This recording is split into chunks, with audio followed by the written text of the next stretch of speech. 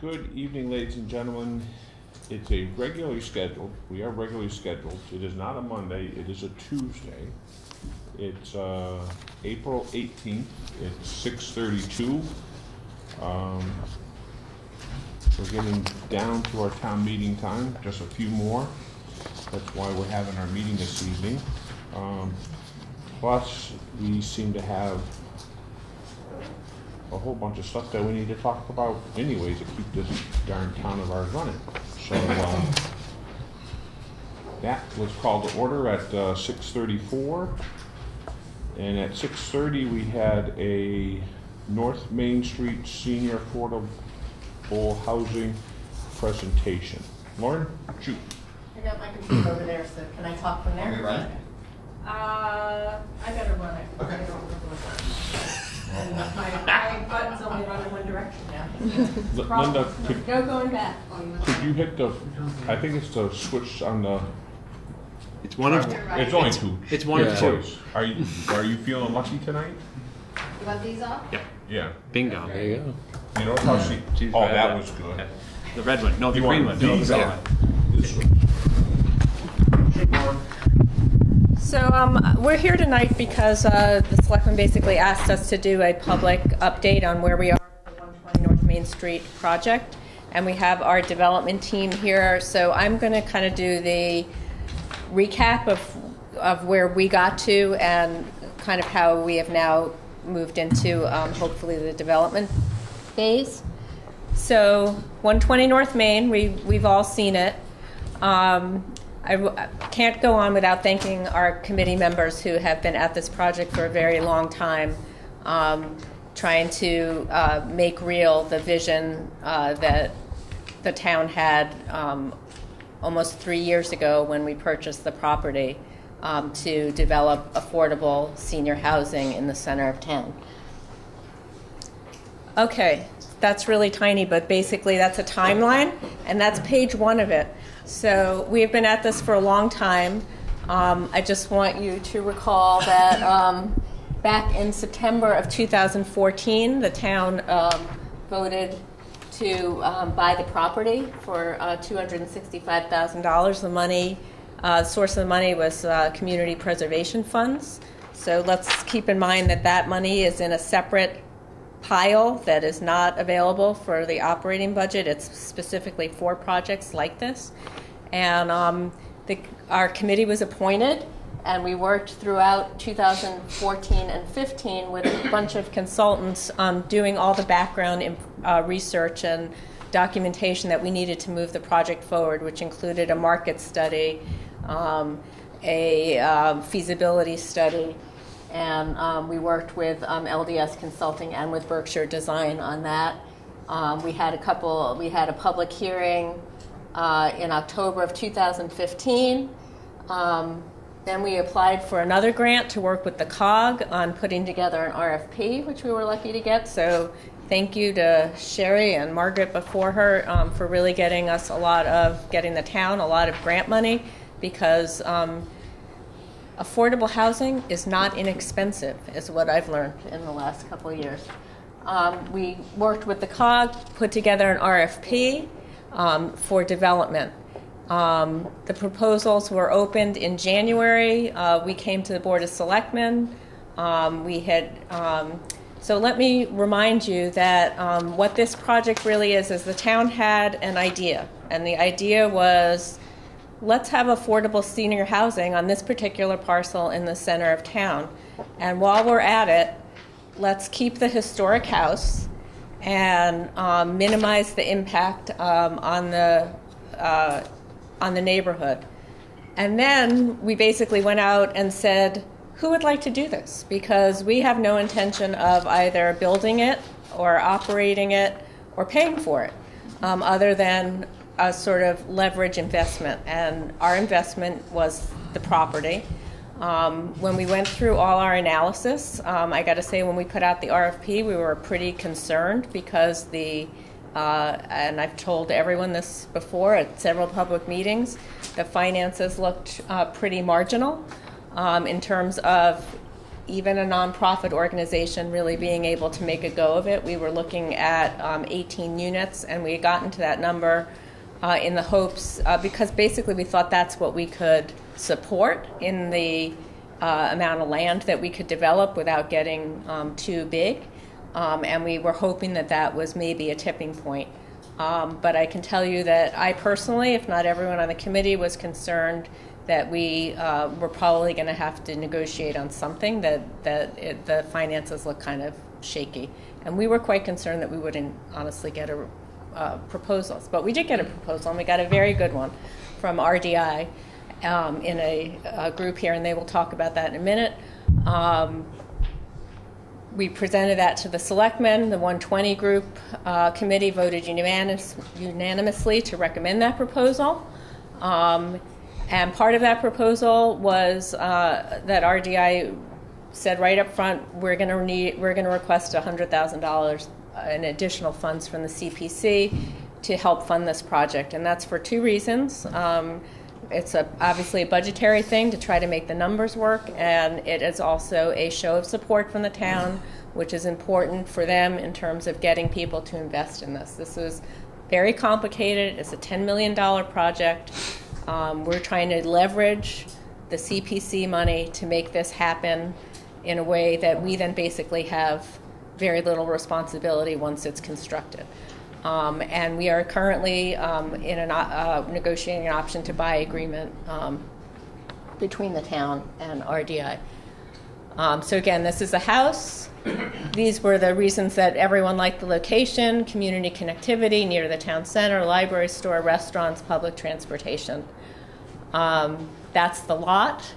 You can see, it goes back. What did everyone tell us when we presented it the first time? Originally, a lot of wetlands. That was true. Um, our goals wanted to maintain the character of the neighborhood. Um, you know, North and South Main Street are really what gives Sunderland its character. We don't want to detract from that. We do not want to take the house down um, because that will create a hole in the street. And we also want this project to sit as lightly as possible on that field. Just and the concept we came up origi- uh, eventually was that it would sit, you know, to some extent like a barn sits back behind a house. Um, we met with every committee the town has, but particularly conservation had a lot of um, concerns, and we wanted to be uh, as as uh, we wanted to actually um, adhere to the strictest conservation um, restrictions, not just kind of get away with what we could, because this is a 40B, and we could have, you know, we could push for not doing everything, but that's really not the way we wanted. We were calling this a friendly 40B. We want everyone to be happy.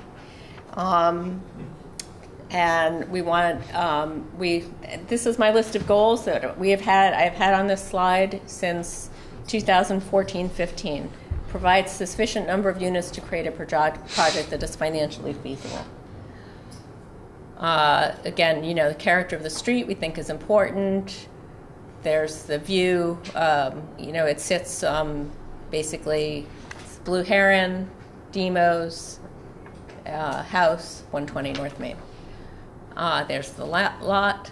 So when we went and uh, actually drew it out, um, Peter's here from Berkshire Design. Yes, there were a lot of wetlands back there, and that really um, impacted how much buildable land we have. We are allowed to replicate some of the wetlands, which basically means you take them from the front and put them toward the back.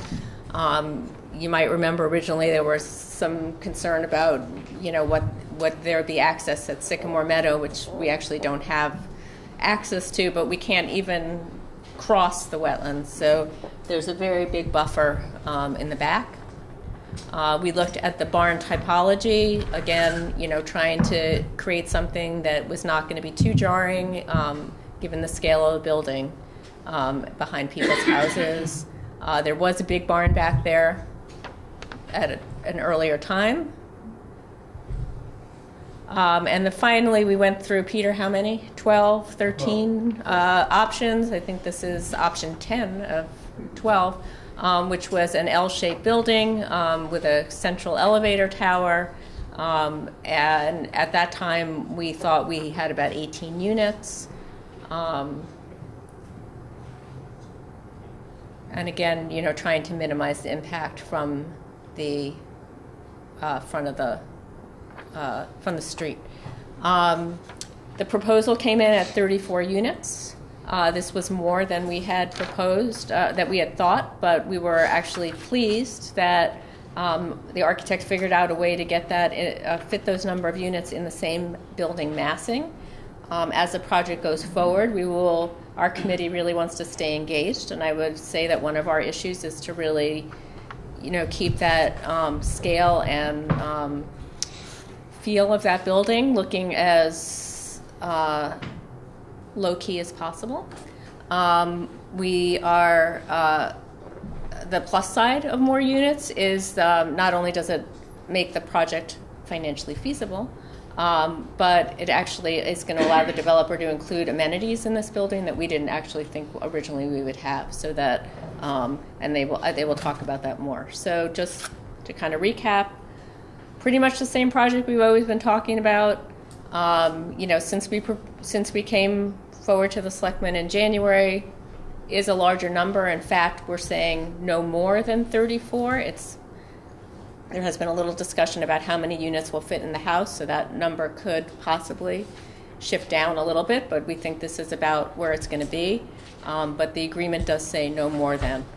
Um, and uh, at this point, uh, I think the we will be executing the option to sell, and then there's really a lot of um, wrangling now for money. And I will let um, I will let the development team talk about that. But we also got a very nice handout here from um, the Community Preservation Committee that really I think helps explain uh, why the town kind of putting our best foot forward uh, to make this an attractive investment is what's going to allow the developer to develop it and for the town to get what they always wanted with a, you know, big for us but frankly minimal investment in a $10 million project um, uh, that meets the goals that we started out uh, looking at. So I'm going to hand it over to Lauren. Um, Good evening, everybody. My name is Fran Feeney. I'm the Executive Director of Rural Development Inc. And I just wanted to thank the board for um, inviting us here today. Um, RDI, Rural Development Inc., RDI, has um, already over 123 um, units of affordable housing in our portfolio. More than half of those have been um, funded and constructed through uh, the use of loans and housing tax credits, which we are again um, proposing to finance the, uh, this project. Um, We've uh, assembled a um, great uh, development team here today. Um, We've brought on um, Laura Baker from Valley CDC as a consultant. Um, And we have Austin Design and Berkshire Design, um, both who have worked with RDI in the past on several, some of our projects. Um, We're happy to go through the proposal um, in detail and answer any of your questions that you have about the project or about um, the development or management of the property. I'm actually going to stand over here so I can just soft voice so I can project. Hi, uh, I am Laura Baker. I'm the real estate project manager at Valley CDC, and we are going to act as a subcontractor to the project sponsor, which is Rural Development. Um, I wanted to let you know kind of the outline of what's included in the project, and then I'm going to kick it to our design team, both the, the landscape designer, site designer, as well as the architect, so we can actually look at some images of what the project will look like. Um, Fran's going to wrap up by talking a little bit about the ongoing management of the property once it's built, and then we want to hear your questions and comments and be able to respond to them tonight. So um, as Lauren mentioned, the scale of the project has shifted and it's larger than what the town originally imagined. It's 34 units. And um, it happened for a couple of reasons. One is really to get up to a scale that we need to access the low-income housing tax credit program, which is the largest single funding source for affordable housing nationwide. And word on the street is usually you need 40 units or more. So we're kind of squeezing in because think that that was really too much for this particular property. um, but we had to kind of meet in the middle somewhere to make it financially viable to develop. Um, the other issue really is for the property manager to have enough scale to have the cash to manage the property and repair it and maintain it over time.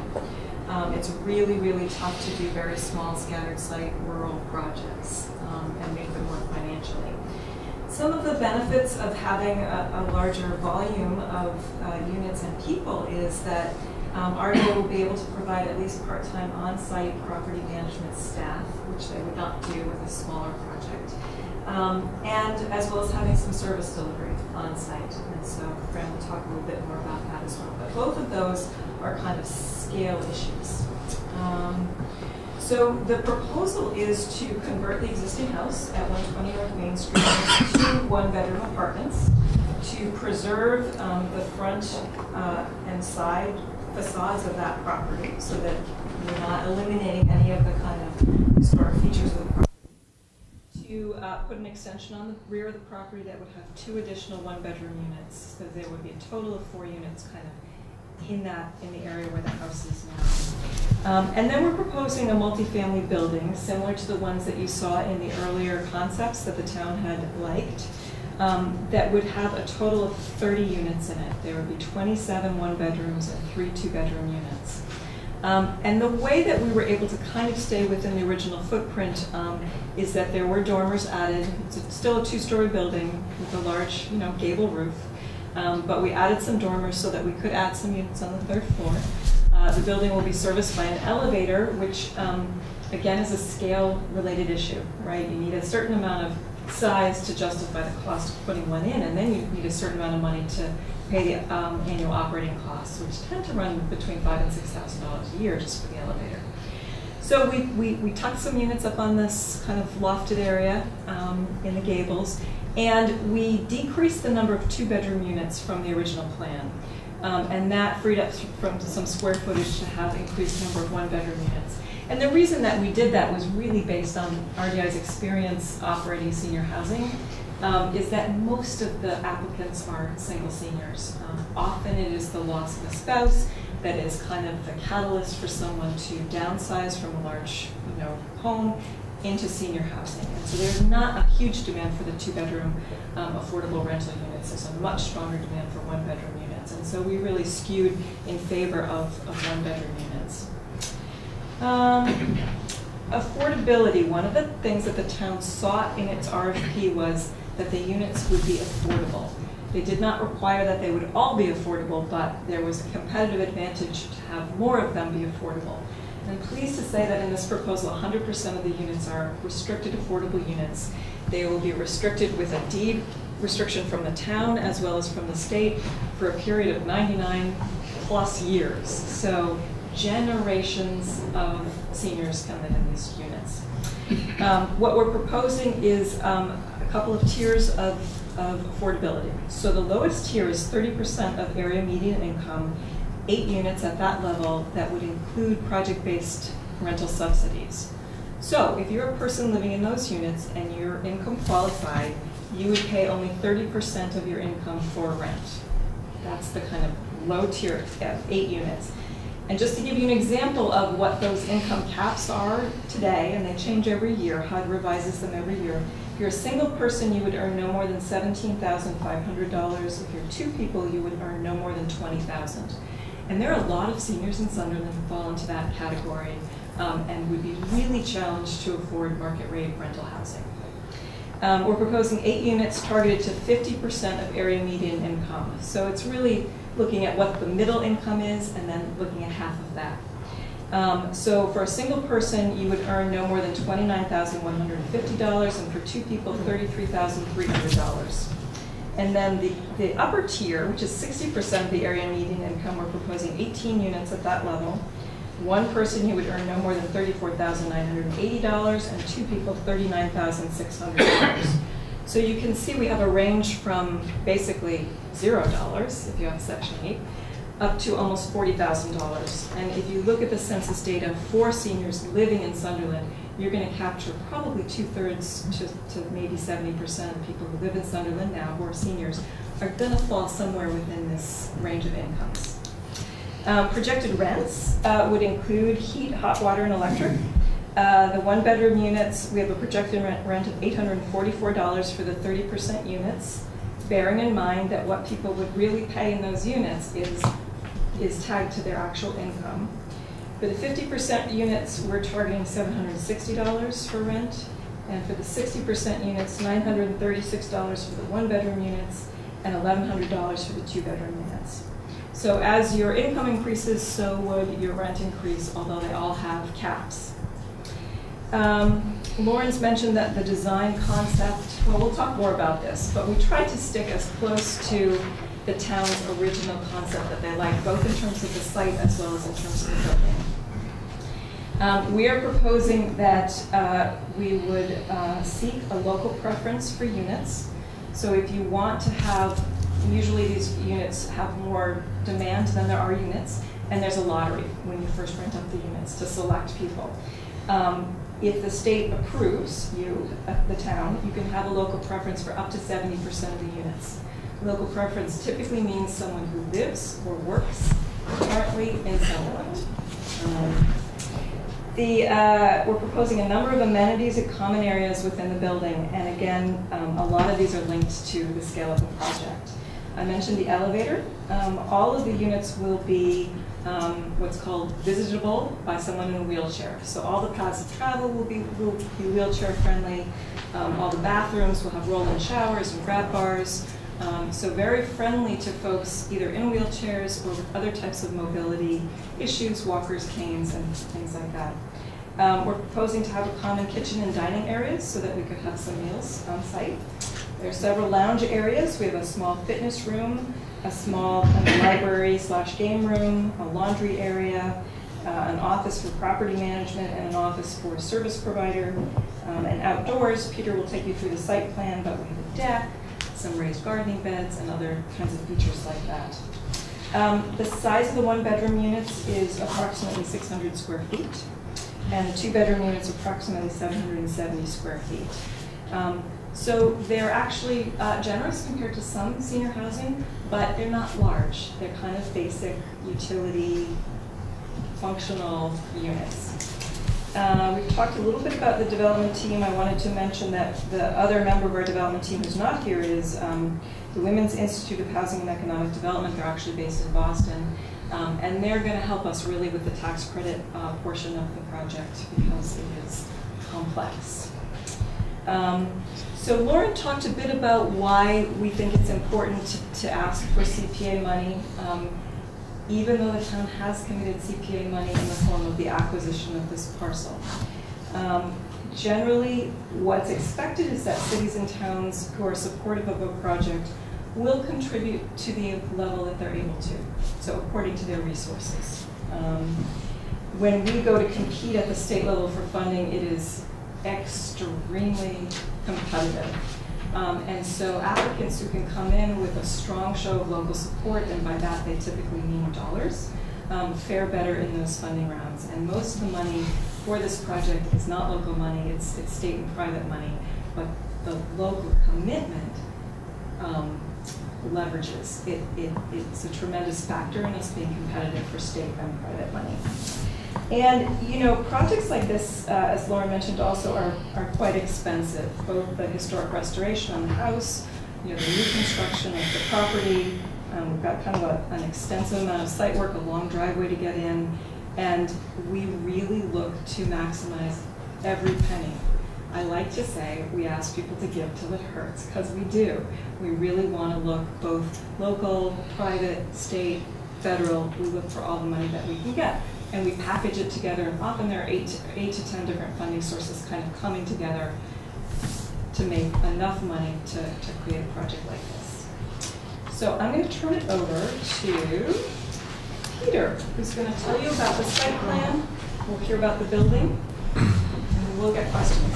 Thanks a lot. Sure.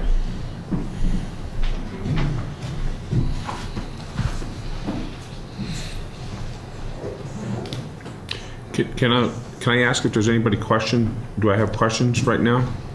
I have a couple of questions. Uh, As, as long as you're discussing what we've talked about so far, okay? um, If not, I, I mean, we can have questions later, Okay, then I'll wait. Okay, thank you. Once again, my name is Peter Wells, I'm with the Berkshire Design Group. We were involved in this project early on during, during the feasibility study, where, as Lauren mentioned, we looked at 12 different options for the site. Uh, And that was after we did a- a fairly thorough site analysis, looking at the potential and constraints the site had. Uh, The biggest potential I see in the site is that basically it's a flat site, so it's easily developed. Its location is ideal with regard to um, proximity to town services, uh, libraries, stores, uh, town offices, et cetera. So connecting this parcel from a pedestrian linkage is very important as far as being able to live here and walk downtown uh, along an accessible pathway. Uh, The site itself is roughly four acres, 3.9 plus some change. Um, As we mentioned, there's a wetland area in the center of the site. It's an isolated wetland area, not really, not really jurisdictional, but we are going to respond to it and treat it li- like it is a wetland. Um, Our main access is off of North Main Street. It's a 20-foot wide uh, glorified driveway, if you will, but wide enough for two cars to pass easily. Uh, It meanders in. Uh, We have parking on each side. We have roughly, we have 54 parking spaces. Uh, Six of them are for people with disabilities located uh, at the entrance area. So one can easily uh, drive in, park anywhere along here. Tree-lined parking areas for shade uh, during summer months. Uh, And you can actually come come in here and turn turn around and and exit. Our main entrance is located uh, facing um, Mount Tom area. Views up this way are are incredible, and views going north are also um, amazing. And we tried to pre- preserve those views uh, for our residents. Uh, Main drop-off area and parking uh, in the front. Uh, Building itself, as uh, Laura mentioned, it houses uh, 30 units. Um, We have, uh, we're going to have town water and town sewer that will also come in along here. We've we've shown numerous shade trees throughout. We have a solid fence along here for screening. Um, Outside amenities include a nice deck slash patio uh, for residents to be able to meander out during uh, nice weather times. Uh, We have raised uh, planting beds along here for uh, gardens, uh, community gardens to occur. We have a walkway system that meanders back here with wetland plantings for our stormwater management. And we have a dumpster that is fully enclosed, located right there. A uh, dumpster truck can easily come in and back in, service, and exit, as can a fire truck. Can easily back in, and we've designed it for the largest fire truck that Sunderland has, as as far as turning radius. Um, The unit out front will will house four, four units. Uh, An addition will be added to the existing uh, historic house, but visually, the character of the streetscape will will remain the same. Uh, You won't be able to see much of this uh, structure from the street with the amount of trees that that we're planting. Um, We are going to need to replicate some of the wetlands that we are going to move in this area, and they'll be replicated on the other side of the existing wetlands that are there now. Uh, We don't see gaining access uh, through this to the next development. So from a pedestrian standpoint, one could easily exit uh, this, this structure and come down a safe sidewalk on out to here, then either cross the street or use the sidewalk on the eastern side of North Main Street. Uh, Two existing large trees will remain. We are going to have to take down one, one of the trees out front, uh, unfortunately, because we couldn't fit our roadway in. Uh, But we have saved two of the larger trees in, in the rear. The the driveway that is, exists now for the house that is on North Main Street will remain, and we'll have three additional parking spaces uh, for this, this unit. So that's it in a nutshell. Um, Any questions about the site? Is there going to be a secondary access road for emergencies? No. You have two access? No, you don't need it. No. We have a large turn around here, uh, and we we felt that was adequate enough. Um, We have a fire hydrant lo- located here in close par- proximity to the building itself. So, no questions at this point. I'll be here to answer questions later on. Um, Now, it's, uh, the architect's time, Tom from Austin Design. Um, We came on board um, after the preliminary design and um, started with uh, the scheme 10, which has been very well thought out. I think Laura and Peter are going into such detail that I think a lot of what I will do is just show some illustrations generally and then get, look at some sort of Um, so here's a couple of views of the the site. Um, Drive coming in, existing building, um, we're working hard to keep the main structure the same. And then the, the real changes will be on the, on the rear, on the rear addition to the back. And then this is the structure that you saw before. Um, It's similar to the scheme ten, except that the area, community area is a little bit larger. 10. So I'll just quickly run through a couple approach and the turnaround and the entrance. This, the center portion here is a, on each floor, I'll show you the plans, but it is a lobby downstairs, um, and a lobby on the second and third floor, and then the rest of the, of it is basically the elevated tower extension. This is- This is the end view. This is the back view. First floor, this is the community uh, eating area extends in. And so back to, it's the floor plans.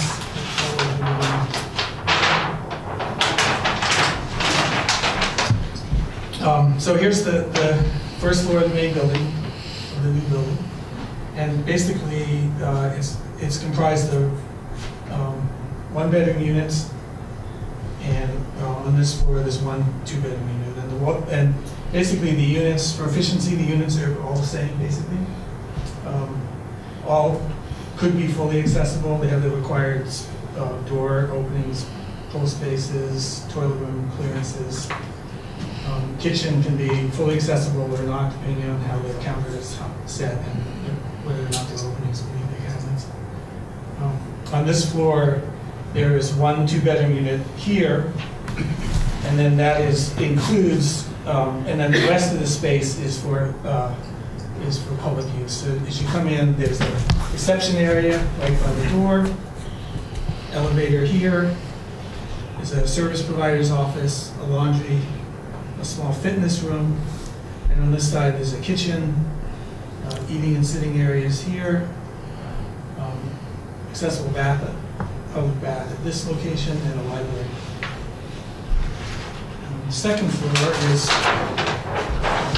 um, similar, the two wings off of the core, there's two upstairs at each end of the building, and and the elevator comes up here. Um, And this floor has uh, two, um, two bedroom units. No, sorry, this is all one bedrooms. Yeah, All, all one bedrooms. So there's one two bedroom on the first floor, and it's all one bedrooms on this. And on the third floor, well, so one thing I wanted to emphasize, let's just take a little building. So the building is, is really a two-story building with this third floor uh, units tucked in the roof. So we've been able to, this is one of the ways we're able to get more units out of this. In the area that is really just being encompassed by the roof by adding this dormer on both sides, we're able to get another um, six units per side.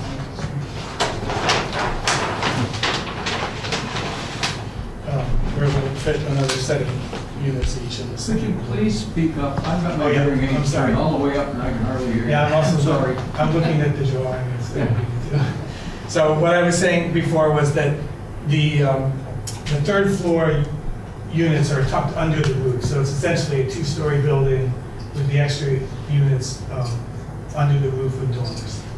So from the outside, it's, with the exception of a, a- a dormer area, it doesn't appear as a three-story building.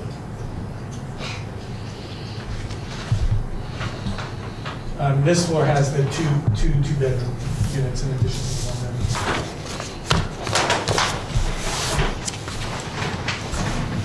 Uh, So for the existing building, existing house, this is the, um, these small drawings up here show the existing conditions. So this is the main part of the building that's in the front, and then there's a back wing here, which is a combination of sort of one small part of it is finished, and then the rest of it is unfinished. And I don't think this even has a, this has a third floor. So the plan is to keep this section as it is in terms of the exterior. And um, this is the floor here, and you would enter, uh, enter the same front entrance, and there'd be one unit on the, on the ground floor and a second unit on the upper floor. And then this back section would be taken off, and a new addition built here. And we're trying, we'll, we'll be holding the sides back in from the sides of the outside building, so that the roofs will be cut back. And from the street, you basically won't see it unless you're looking from the side. Uh, I think that's about it. Um. Okay, There's only one laundry in the building? There's one laundry room.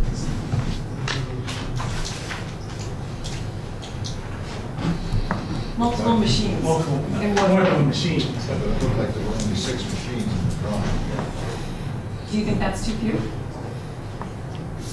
Thirty people? There's no provisions at all for laundries, washer and dryer in the apartment. There are not currently That would be provisions. extremely expensive.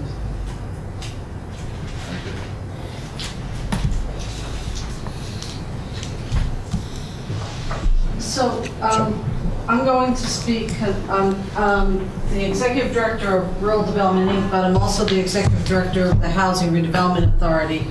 And HRA currently manages over 230 um, units, a combination of uh, nonprofit-owned properties and public housing. So of those, we have over 100 units of senior housing. Um, And as I said before, in addition, we have over 60 units that we manage that are, uh, that were developed through the use of low-income housing tax credits, which comes with its own requirements um, for maintenance of the property and for um, ongoing monitoring by the funding sources. So um, we've, we've at, we've been, um, discussed a lot of the issues that we commonly see with, uh, senior housing, with a development team, and we've added those issues into as far, um, up in the development process as possible. Um, we have enjoyed a very good, um, partnership with LifePath, um, the Franklin County Area, A- um, Area Aging, Agency on Aging. Um, And at our senior properties right now, um, they provide either once or a few times during the week, meals on site for people that are not able or cannot cook for themselves or don't want to and want to have a more communal meal. Um, They also provide counseling services and referral services. We expect to be able to do the same thing at this property. Um, They've already committed, they've already, we've already discussed the project with them, and they've already given us a, a, a letter of intent to work with us on this property. Um, We also um, have found that it's really important at our senior properties to have on-site activities for our seniors. Um, A lot of our seniors are continuing to age in place, and as they do that, they want to be able to have services and amenities right there in the property where they live. So we are going to have an exercise room, and with a communal space, be able to have regular activities brought to our seniors that are living there. Um, And our management, our property management team is obviously very experienced working with um, this population and understanding the needs and being able to bring in whatever other services our seniors need at the property.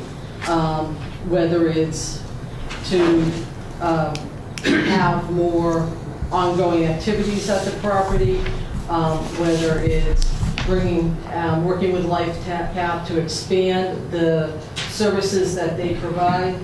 Um, We've been doing a lot of those different types of things at our properties that we already manage with senior housing. Um, So if there are any questions, Are you nonprofit?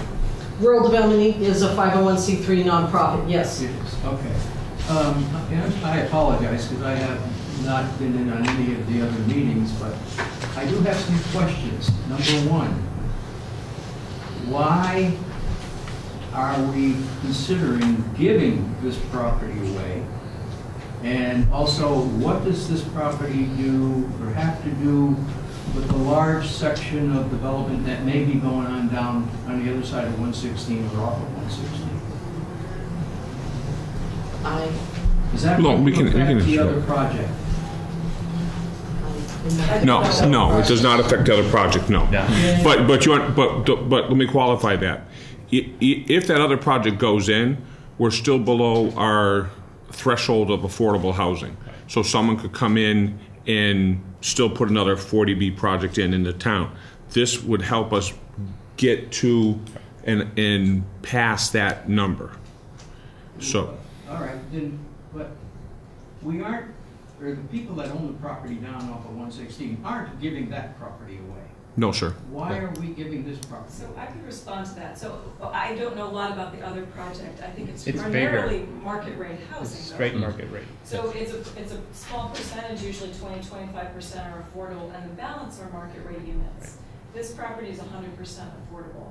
So that's why it's being built by a nonprofit, because it's for a public purpose rather than a profit-driven purpose. Uh-huh. Um, and that is also why the town would contemplate something like giving away valuable property, because they want to entice a nonprofit developer to come and do an affordable project like this.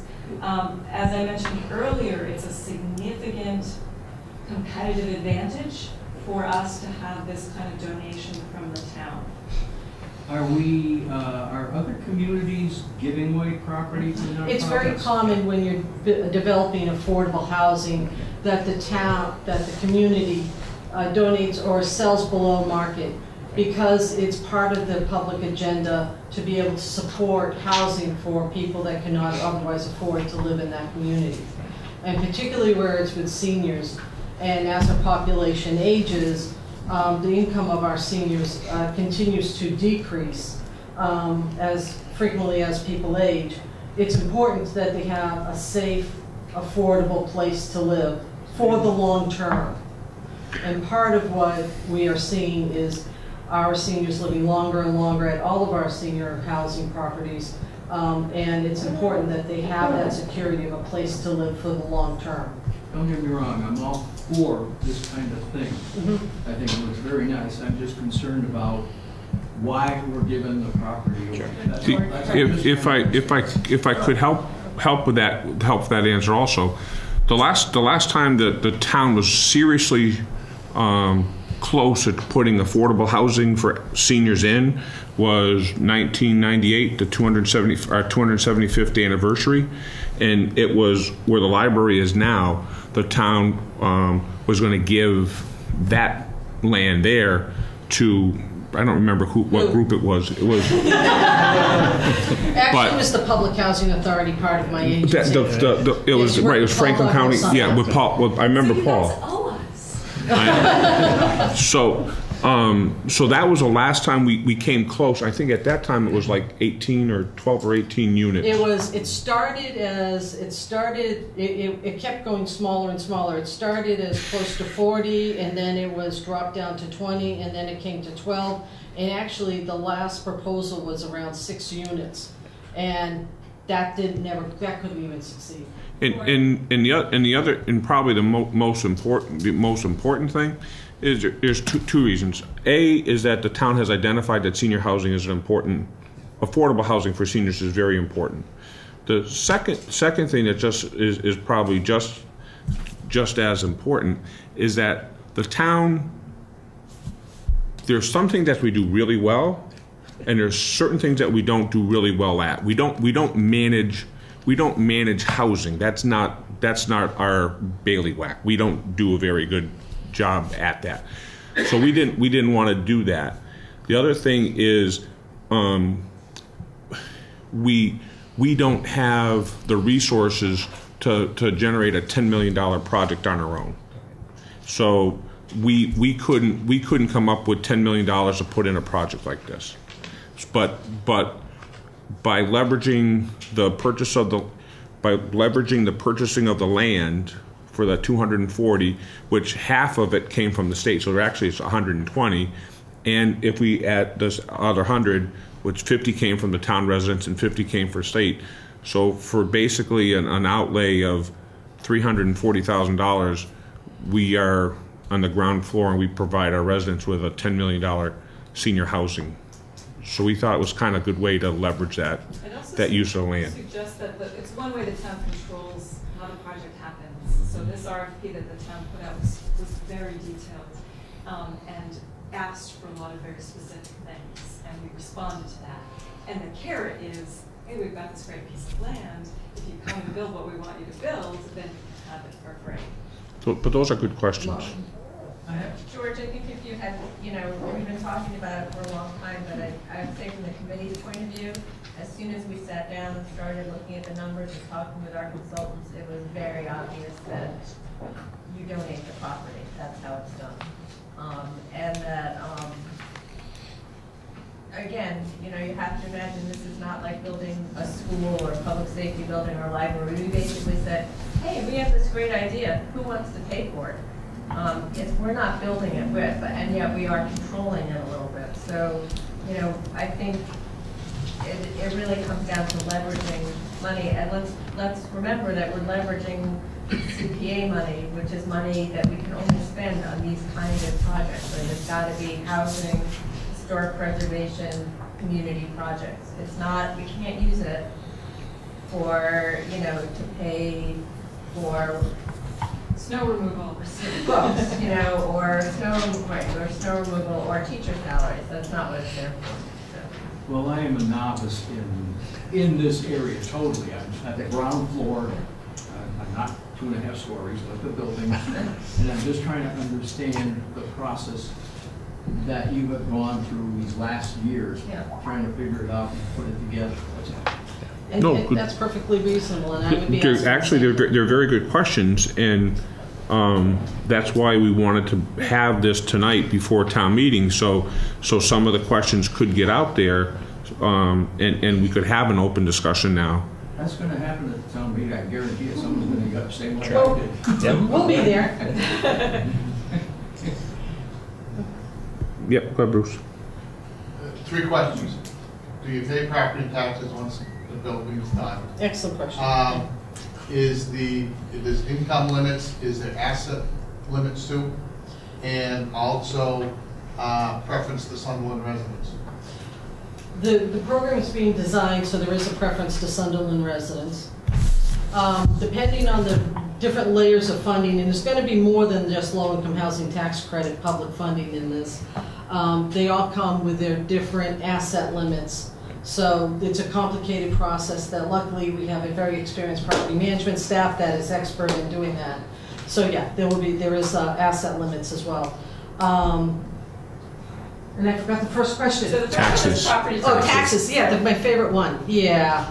Um, So generally what we do is we negotiate, um, it, depending on the community, we've been lucky enough to negotiate a payment in lieu of taxes.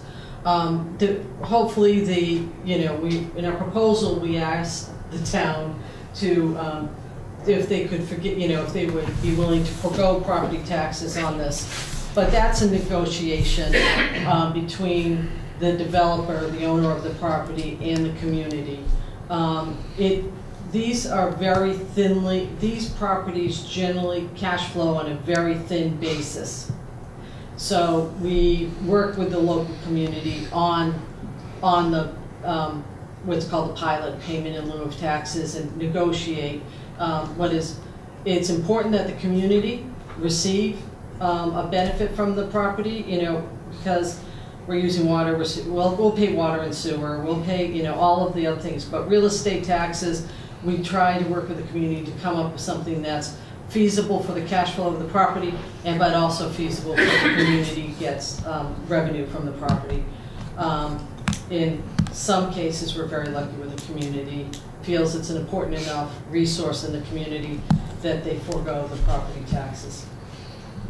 Town services that are required for this project will be limited to just police, fire, medical, no children in Yeah. the school. No children. Uh, No children. And, you you know, know, high-end things. I don't know that much about your council on aging and what kind of services they provide, but in some cases, they might want to host things here. Yeah. Because you're gonna have such a concentration of seniors and parking and nice space, but, yeah, so I would look to that part of your town government, but I assume it's pretty volunteer-driven, um, in, in town this size.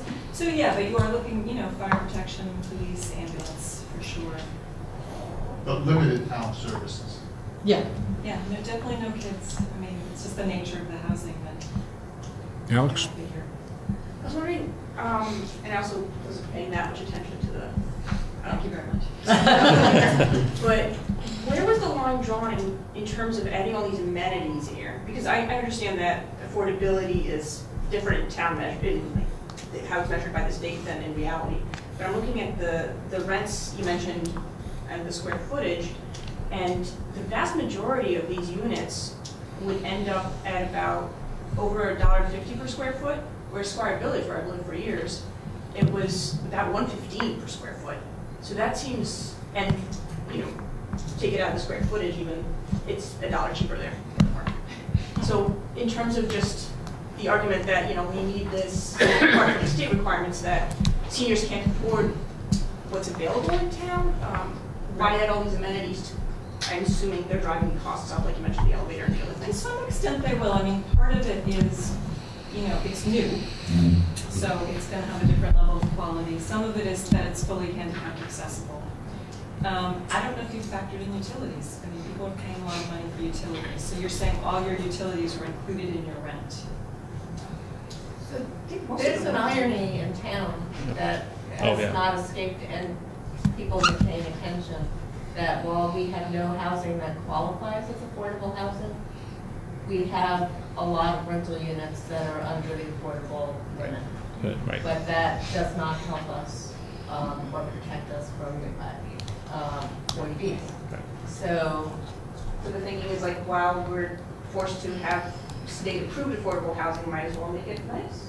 Um, No. I think we're making it, I think we're do, I think we're trying to come in at a reasonable level. I don't think it's, it's not fancy and it's not crummy. Yeah, I Um, mean, I we'll, there was a supply and demand analysis done, and we'll do a follow-up market study that looked at the rents in town, and these did not seem at all high compared to some of the other rents. No, and- yeah, that's why I was, because they seem pretty comparable and slightly higher. I mean, obviously for the thirty percent level, it's gonna be a lot lower. Yeah, I think if you start looking at senior housing, market rate senior housing, it's extreme. you might be shocked. I mean, people are paying upwards of two thousand dollars a month for, for carrying costs in senior housing. So it's a bit of a specialty part of the marketplace. um, Because it's fully accessible, because there will be services on site and things like that. And it's also a targeted market too, on like, like a- an apartment like that, which is open to anybody. You know, I think it's that's, really become known as an anomaly, and we can't, we can't really compete with our own, we have a, we have a very strange rental situation here. And so, it's, it's just, it's hard to explain. Um, But And when you rent and build, if you really are just doing a square foot calculation, what's cheap to build are bedrooms. So if you're comparing one bedroom units with two and three bedroom units. And I actually did a one-to-one, one-bedroom units. Oh, okay. Yeah, their two-bedroom units are more expensive. Yeah. Yes. What is the exterior of this- of this building going to look like? The drawings look like it's brick. Uh, Definitely no. not brick. It's not brick. It's most likely going to be clapboard, it's, um, probably a fiber cement chip, uh, something like that. Something easily holds paint well and easily maintained. Yeah, I would caution that these are conceptual plans, and for sure, things are gonna shift and change as we go into, yeah, as we go into developing them, we'll work with the committee, we'll work with the select board. Select board has authority to approve final plans, but for sure, things, things shift. So I don't know exactly what kind of siding, could be a vertical board and batten kind of look, Yeah, like that's what I would barn line, could be a clapboard kind of look, um, but definitely won't be brick, because it's cost prohibitive. George, you have a question? Yeah, grounds maintenance and driveways, parking lots, stuff like that, you know, is that maintained through the, the building? Yeah, that's, the- my, the property management staff will handle that. And it's important, particularly with the senior population, that ground maintenance is done frequently um, for accessibility issues. If, if I could, to George's point, this isn't being submitted in any kind of way as a public way. It, it's a driveway to a, a- an area to be serviced. I saw the hand raised. Yeah, it's essentially a two and a half story building, and we all know that we have issues with fire trucks and three story buildings. Is that gonna be an issue? I see your drawing. We brought an image. Thirty-two feet high? Because it's the fourth time I've gotten this. All right, all right, So, um. One foot under. okay. The Sunderland zoning bylaw allows for buildings up to thirty-five feet tall, and we're coming in at thirty-two, I have a couple of these.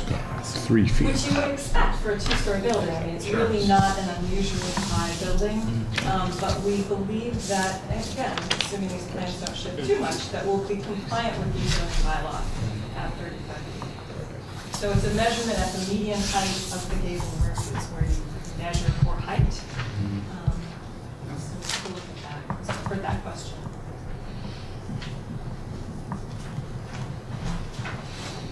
Um, Am I correct in assuming that this is going to be built on a slab, or will there be some sort of basement? You know, I think that the chances are good it'll be a slab, although we've had a little back and forth internally about that, whether we've actually put laundry stuff down in the basement, like that. I'm guessing it'll be So you could put a partial slab. basement in, as opposed to under the whole thing? You definitely could. Um, not great quality space, so we're not certainly not going to have living space in the basement area, and. No, but you could do a laundry or a fitness room, You could, things of um, that nature. and we're not sure about groundwater, you know, how much of the Cannibals. fight be down. That'd be a ground problem in the soils back. Tend to be a No water. back there, so, Yeah. uh, my guess is it'll end up being a slab on grade. Ronnie, you have a question? Comments? Okay. Anyone else? Thoughts? Well, I have one other question. Did I hear somewhere that there was like a ninety-nine year? Mhm. So what happens after ninety-nine years? The the reality is, the reality is that because it's low-income housing tax credits, um, after generally 15 years or so, the investors in the tax credits um, may actually want to exit.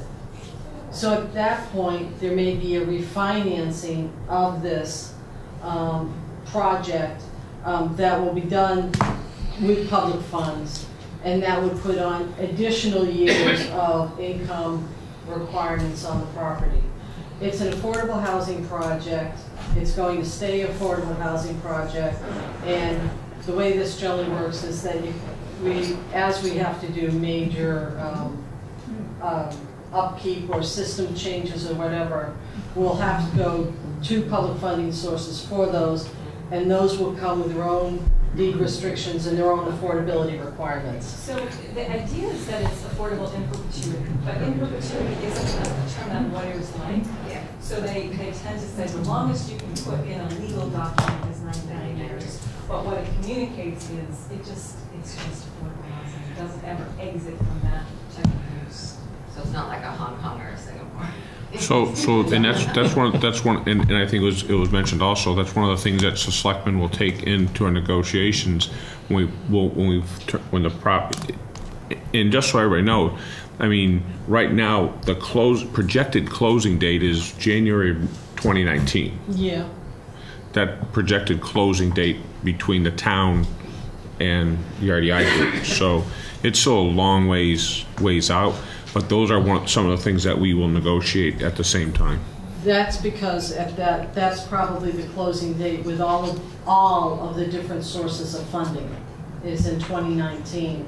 So the town would be one of the different parties at the closing table negotiating their own um, requirements for the property going forward.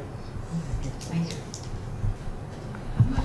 Probably a better way to phrase this, but what's the mechanism or procedure that guarantees it's seniors and not general affordable and? Well, there's, there's several. First of all, it's the, the way we're, we're, we're asking for funding from the state, from our investors, from, we get an allocation of tax credits from the state, and it's gonna be designed, it's gonna be for the use of production of affordable senior housing.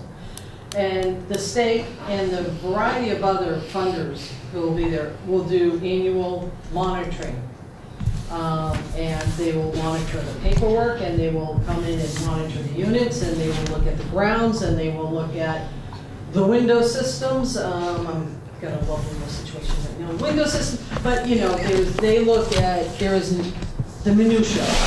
But the big thing is making sure we are renting to the right population that they funded for this project. So it's sixty-two and over is the definition typically for the planning or looking for becoming a senior. And do you do Um, There's a variety of different documents, but generally, there's a, there's, there really and truly is, there's a, a laundry list of documentation people will have to provide at the time of application. It's generally about two pages long. So you have to prove your income level is qualifying and you have to prove Your your age. age. Okay, Great, thank you. any other questions? Does the board have any questions? Well, we've been living this. A- a- Actually, the, the one thing it doesn't, the one thing in the presentation, I think we probably began probably nine months before the, the other group, just in the uh, purchasing of the whole property also, so it's been a while. So we do have the option agreement in its final format here, signed by RDI, ready for you gentlemen to sign. Yeah, that's, that's on our agenda. Yay! We got that. We won't forget that. Okay, anything else? Thank you all for coming, that were interested in the, uh, this part of our meeting. Good questions, thank you. Okay, Do you want to take action on the agreement now? huh? You want to take action on the agreement now, at least the vote? Yeah, might as well. Well, I wanted to get into, well, yeah. let's- let's Go get ahead. to it. No, Go seriously. ahead. No, go ahead. Uh, right, so, uh, right now, Mr. uh, Bergeron wanted to act on, if I have, uh, Mr. Bergeron uh, wanted to act on the RDI uh, proposal. Uh, move to, move to enter into the agreement uh, that counsel has reviewed and has for us to sign. Second. Okay, a motion made and seconded to uh, enter into the agreement with uh, RDI that's been uh, reviewed by counsel. A couple change, RDI basically initial a bunch of changes that came from town counsel. So all those, or any questions about that on the board? No. All right, all those in favor, please signify by saying aye. Aye. Aye. Okay, let's move on. Thank you. Three zero, Sherry. All right, budget. Pick it up in the morning, how's that? Can you pick it up in the morning? Um, actually, No? I, I I was gonna say, I can swing by and. Pick it up in the morning. We'll, we'll, we'll sign it later. Sounds good, thank you. Thank you. All right. Where you want to start with the budget, Mr. Sean? I guess we're getting, getting it pretty close. Looking pretty red. Yeah. Yeah, so, so, did, I, I believe from our points of discussion, we, our major, I don't even know, our, our thing that we were discussing was the, uh, the different budgets that we've been presented with the Board of Library Trustees recommended increases for their staff, their two percent, uh, increased of non-union across the board. Um, Have you guys thought about that? Have you, Yeah, we discussed it, the library came and we discussed it, I think we were in favor of their recommendations. okay. Um, Scott, what are your thoughts? David? I'll, uh, I'll let David go.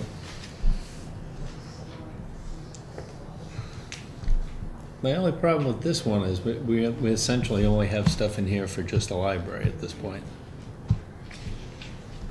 Right, with the Bolt one? Um, there is two percent for non-union And and then the library increases. So we aren't gonna tackle any of the other ones. I do have an, an an issue that it, in, in, in the end, it becomes a little bit unfair if we're just focusing on one group and not the other ones, but, I mean, either way, it's part of what we were trying to accomplish. But, that being said, it's, it's unfortunate that we can't at least cut that back and fit a little bit of other ones in, but Your thoughts, Scott? Well, I struggle with the, the notion that it's been, oh, uh, not quite a decade, but getting close to a decade now. We have been dealing with, you know, wage increases of two hundred bucks, three hundred and sixty bucks, or reductions. Um, and I struggle with the notion that in that side of that decade, um, we've had only a, a couple of, a couple of areas that have either been, been maintained whole, i.e. the schools, negotiated or other, um, or in, in the case of the library, catching up now in year nine. Uh, and it does seem, a it does seem a little weighted. And again, I have an affinity for the library, they do a great job. That said, uh, if this was across the board and you took that same eight thousand dollars and sprinkled it across the entire budget, you know, you'd have a happier crew across the totality of our employment. And as an employer, that's tough. It's like, you know, rewarding your, rewarding your, uh, rewarding your foreman and, you know, the guy with the shovel, he doesn't get anything. Yes. Just would like to say that we've been to personnel committee, we've tried to make it fair across the board, but our, pur- we, we advocate for the library because that's the purview of the library board of trustees. It's not saying that we're going against anyone else in. No, no, completely understood. And, you know, we have, we have to look at it from the ten thousand foot level, five thousand foot level, at least five. Um, Um, So our original proposal was a very modest increase for the library, and, but it was more than the two percent across the board. And if we wanted to, you know, we'd be willing to back off to that if you would add to the town, other town employees, so that we don't have to keep doing this every year. Yeah. You know, I mean, it's, it's not like we want everything, we just want to keep advancing till we get to this median, and we want everybody to do that, and we'd be willing to, to back off a little bit, uh, to, to spread that around. Um, But what's hard for us is, is every year saying that library can't do it because the town can't do it. Right. we've run into that for almost any department, you know, that's the unfortunate thing. Well, and the fact, I mean, the fact is that the personnel committee review identified these particular employees and two other employees. And that's really up to you guys, whether you're gonna fund raises for those other two employees. We're only, we can only Right. advocate mm-hmm. for the four positions that, Right. that we have. And we can keep saying our willingness to, you know, we don't need as much as the personnel committee mm-hmm. recommended, we don't even need our alternate plan. We'd be willing to back down as long as we're moving forward, and everybody move, if everybody can move forward, it would be great for the town, including the library. It's one of the things we've been trying to do. Just But move the bar even forward our overall. compromise, we are nowhere near where you guys have already identified most, as far behind as the employees are.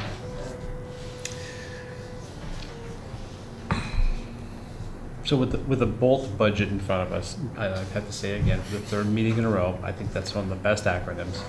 Um, the Bolt recommendation is, is a net of, uh, ten thousand five sixty-two going to the library uh, salaries. Um, with seven thousand seven thirty-six going to staff and then twenty-eight hundred to the director, with a total increase of eight point three percent. You have the same numbers? Again, that's the Bolt number. That's, that's somewhere less than the Personnel Committee's recommendation. That's important to bear in mind as well. We didn't even, we didn't even, yeah, we didn't even bring that forward. There are other areas in, there are actually other areas in the budget to discuss, so I'd like to get through this one if we could. What are you guys thinking about, about both recommendations versus two percent versus nobody gets nothing? From my point of view, the unionized employees have maintained and done pretty well compared to the other town employees. From my point of view is, I think a happy employer is good, happy employee. When you unionize, you get a little bit of friction. And I don't, from my point of view, if I was working with one of the departments that's non-unionized, I would look at unionizing.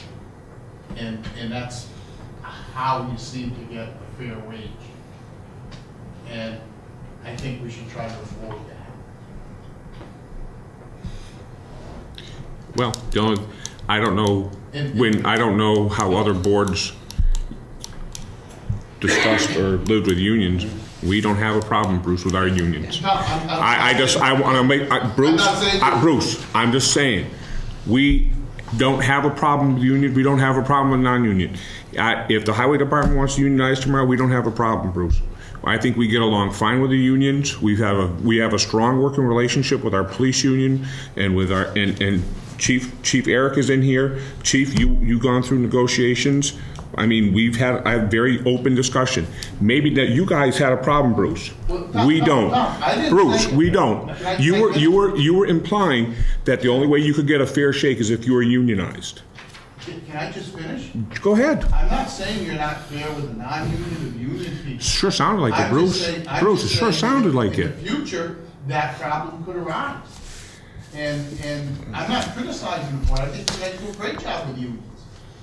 And, and, and, and what I'm saying is, times could change and things could change. And, and it could change both on your side and on the union side. And it doesn't take much to do that. To, to me, it's very easy to, it's easy to work with the, with unions when you have honest discussions, Bruce. And we've always tried to be honest, honest with our, our thing. But we also don't, and, and again, I- you know, you're absolutely right. The li, the board of, the library trustees are responsible to the library, n- the library, not anyone else. We, we understand that. That, um, in what members of the audience have to understand is that the um, library and, and library employees don't work under um, the town bylaws per se. They work on, I mean, they follow them, um, but they work, and this is by state ordinance or law, but by what's set by the, the library trustees. So it's rather unfortunate. We always end up talking to the library trustees independently sometimes about the wages, but in a way, the library's unionized, Bruce, uh, because they have the trustees that are always speaking for them. And we don't have the highway department or the, or other staff that come in, they don't have that, but the library, that's the library trustees' position. I would say, I have to look at a budget that we're asking people for a two and a half override. So I have to see some real compelling reasons to, to have someone, there's, there, there was one employee that was looking at a nine thousand dollar increase in salary. And I guess that's off the board right now, but that, that was, but that was on the table at one time. From the personnel committee, not from us.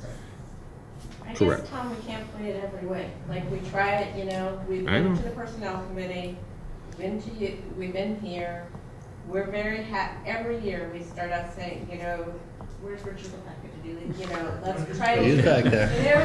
Every, every year, you know, we want to work for the whole town. We understand that we have more representatives, but you can't both, you know, uh, sort of say, gee, you guys are adv, if we were, if we were doing such a great job advocating for our employees, then why are they forty percent under the median income? I, and I've been asking that question all along. Because every year, you, someone says no. Um, you, uh, well, that's actually not one hundred percent in fact. Um, the board, the board has gone to town meeting and, um, made recommendations and the board is, the board of selectmen have ended up on the wrong side of the vote. Or the library side was when, one versus what the board of selectmen, so I don't, it's, So, um, But but can, can, we're, right now we're, we're stuff we're talking philosophical, and right now we have to find out what it, it's our choice right now. We we've heard a lot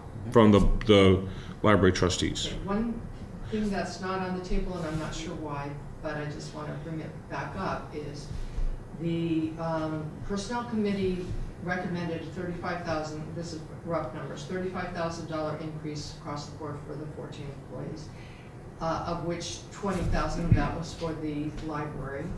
And then I only know the library numbers. Our Bolt alternate plan is around ten thousand dollars. Our original plan, what we put in for our budget request was a five thousand dollar increase. If we got that five thousand dollar increase, and the town got a five thousand dollar increase, and we started inching everybody up towards the median, wouldn't that be better than everybody get a two percent increase and we keep falling behind? Well, we, uh, we do want to separate out the COLA from the increase, you know, because they are two separate components. So I don't want to mix those two in that, in that So you're sense. saying no increase, I- no, when you're saying COLA, you're saying no. Right. Richard's got his hand up. Because that's different from wage adjustments. Yes, Richard. Can I reflect on it just a bit and then maybe get to a point that maybe helps on what you're going to decide to do? To me, one factor that's in here is thrown away is something called compound interest. And that's related, you think about it, I'm sure for one, and other things in your finance. But there's a compounding thing that's happening with salaries too. And that, if you, if you think of things like percentage. Everybody stays different from each other. The rich get poorer, the poor get poorer, by the way. Yeah, Rich. You work on things where you right. give away by percentage. So suppose back seven or eight years ago, we decided not to give sal- a salary increase. And we decided not to do it for certain people. I think it's actually happened. But other towns didn't do that. They, they held on to smaller increases, but they gave their people increases. So now back in '09, we're creating a gap between our people and everybody else. And you can never fix that by just giving everybody a percentage increase. Because the top guys will actually go further up in their salary than the lower guys. So you can't have a paradigm or a process where you're simply giving away percentages of income. You never catch the guy. So my feeling on that is, you gotta at least do a one-time correction. You can't do it by percentage. You have to swallow it and go with it. I don't know where the money comes from. But unless you do it as a one-time correct, it'll, it'll just get worse and worse every year. You'll come here and you know, the gap will be another one percent.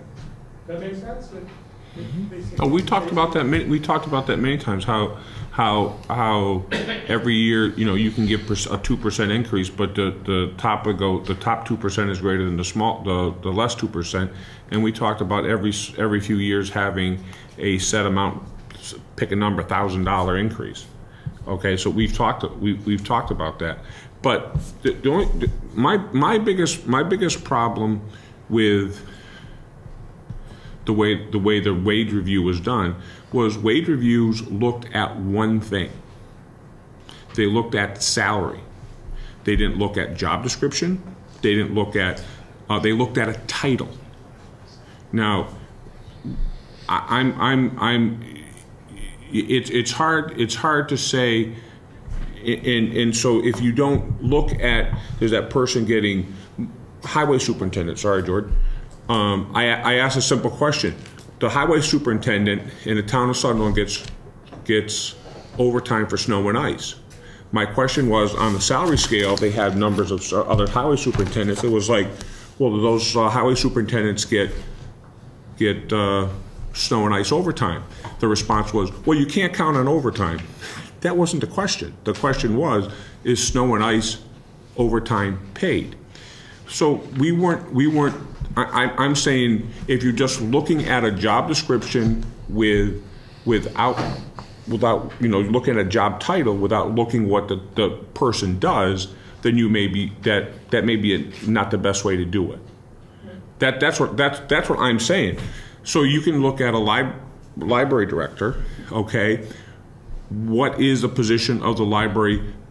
For all I know, Catherine could be underpaid more than what the personnel committee does because her duties may be above and beyond what other library directors are doing. So if you're not looking at what the person's actual job function is, you're not, and you're just looking at salary, case in point, Northfield uh, just advertising, close your ears now, Miss Patch. North, North, Northfield is advertising their town administrator for ninety-five thousand dollars right now. I know a taxpayer in North, Northfield that's not too happy that they, they're offering ninety-five thousand where there's no one else in Franklin County that's even close to those numbers. So now it's, it's right for Northfield because they think they need that ninety-five thousand dollar town administrator, but, but other towns, it may not, may not be right. So I, I think, I, I think when you're looking, you- you're, if you're looking at adjusting salaries, they, you need, it, it's probably a year and a half, two-year process to, and it's not, it's not just saying, well, Sheffield's paying, paying their, their highway superintendent hundred and ninety thousand dollars a year. Sheffield's about the same size as Sunderland, so we should pay our highway superintendent hundred and ninety thousand dollars a year. I think it's more, more involved than that. And, and I know you're gonna disagree, so go, go ahead, give us both. say, give us a little more credit, because we are on this job, I mean, more, honestly, more hours than we ought to be. We know the other libraries, we've put the time in, we put the time in. See, you're, you're speaking about the library, I'm talking about, I, I'm talking about the entire process. Why should, we're talking about. Because the town- because the town's looking at a two and a half override right now. raising the library staff salaries to eighteen dollars and something and change an hour. We are not looking at a ninety-five thousand dollar a year salary. We are looking at eighteen dollars an hour. It's minimally over what a college kid gets working during the summer. For fifteen hours a week. It's, it's, I mean, I really, at some point, I understand, and if you wanna say we don't have the money, that's a perfectly legitimate argument.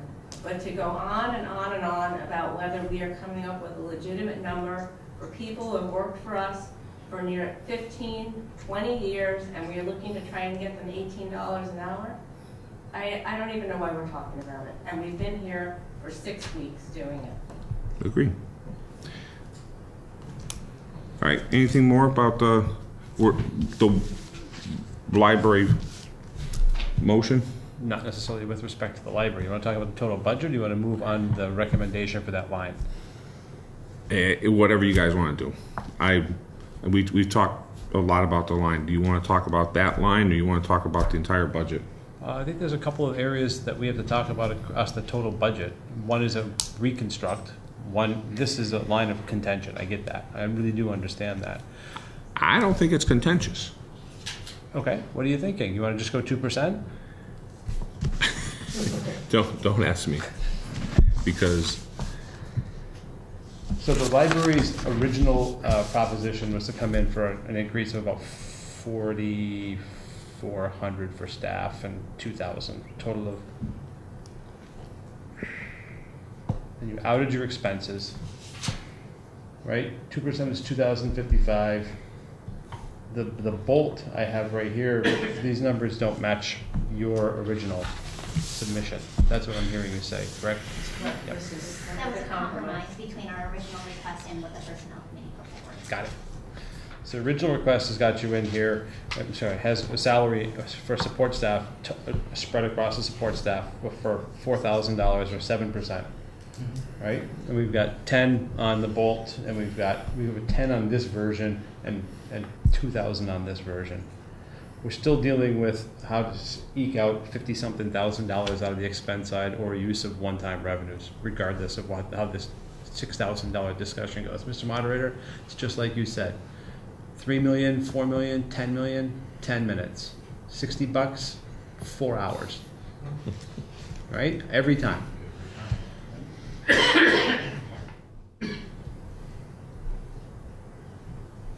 know, just to comment on last year's town meeting and this idea of almost time, it was detrimental to the rest of the discussions in that meeting. They have got bogged down that much on two or three dollars.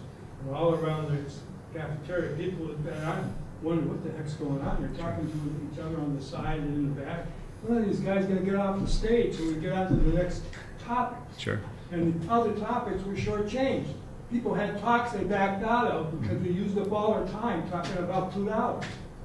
I think that was embarrassing. Monitor, did you, did you notice that?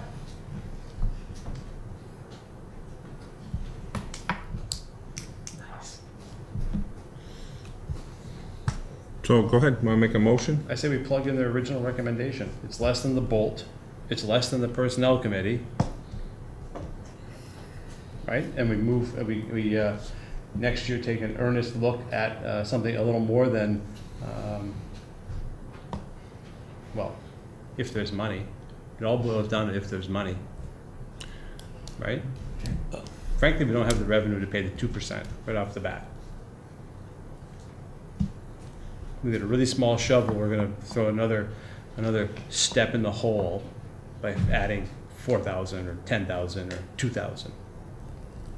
Philosophically, if we're gonna talk about the philosophy of bringing people up to the means wages, bring everybody up. But we've had this discussion in years past, we wanna bring everybody up, be prepared for what we're actually asking for this year. That's a three hundred thousand dollar reset in the revenues. Because if you're gonna bring everybody up, you're gonna spend fifty, sixty, seventy thousand dollars. Nine thousand a position, highway superintendent gets a pay cut, gets two. Just checking. And that's what we were looking at, was essentially that, that, to see what it would do. Well, again, Which was But- thirty-five thousand. yeah. But if you're looking strictly at the numbers, you know. But, and I think this is one of these things, is going through this exercise, it's, Tom had some very good points about the, the comparisons, and there aren't, and this is looking not just at the library, this is looking at everything. And I haven't seen any really good uh, salary comps that actually take all those factors into account. And it makes it very difficult after doing this, that if we don't have consensus across the board, it makes it very difficult to do this, just in general. And I think that's one of the things is we need to, it's, it's one of the reasons there's a problem when you look at the, at the federal level. Unless you're arguing over the same set of numbers, then you're all talking off in different directions and it doesn't matter. You have to come up with a, a set of numbers and rules that you want to abide by and a goal you want to achieve. And then argue, once you've established that, then you can argue over the, the financing for that. But, and that's kind of what's made this a little bit of a frustrating process. So, Mr. Bergeron, was your motion, I didn't hear a second yet, was your motion that you wanted to plug in the library trustees' original numbers and two percent across the board for everyone else? Correct. Is that what you said? Yep. J- Just realize, we could, we could, I, you could number, the override doesn't pass. It's, we're- we're, it's, re- it's we're, being re- we're cut. revisiting it anyway. Exactly. Right, right? It's all over, It's override understood. contingent. Okay. So that's where you wanna go? Yeah, take the original submission. All right, I'll second. see, it only took us a half an hour, Richard. It's progress. Because we got to the four thousand dollar mark, at least we're talking about real money, Yeah, right. not two dollars. We get better with it. Exactly. Right, Did that make sense? Disproportionate, it's disproportionate, the amount of times dis- inversely proportionate. right. Bring up the dog story again. Well, we haven't got there yet. Good play. So Sherry, can we modify the budget? We're gonna be adding about two thousand and eight, eight, two thousand eight, two, two five to the two percent. You got that, Sherry? All right, so Mr. Bergeron's made a motion. Mr. Pierce is second. Further Mhm. discussion? All those in favor signify by saying aye. Aye.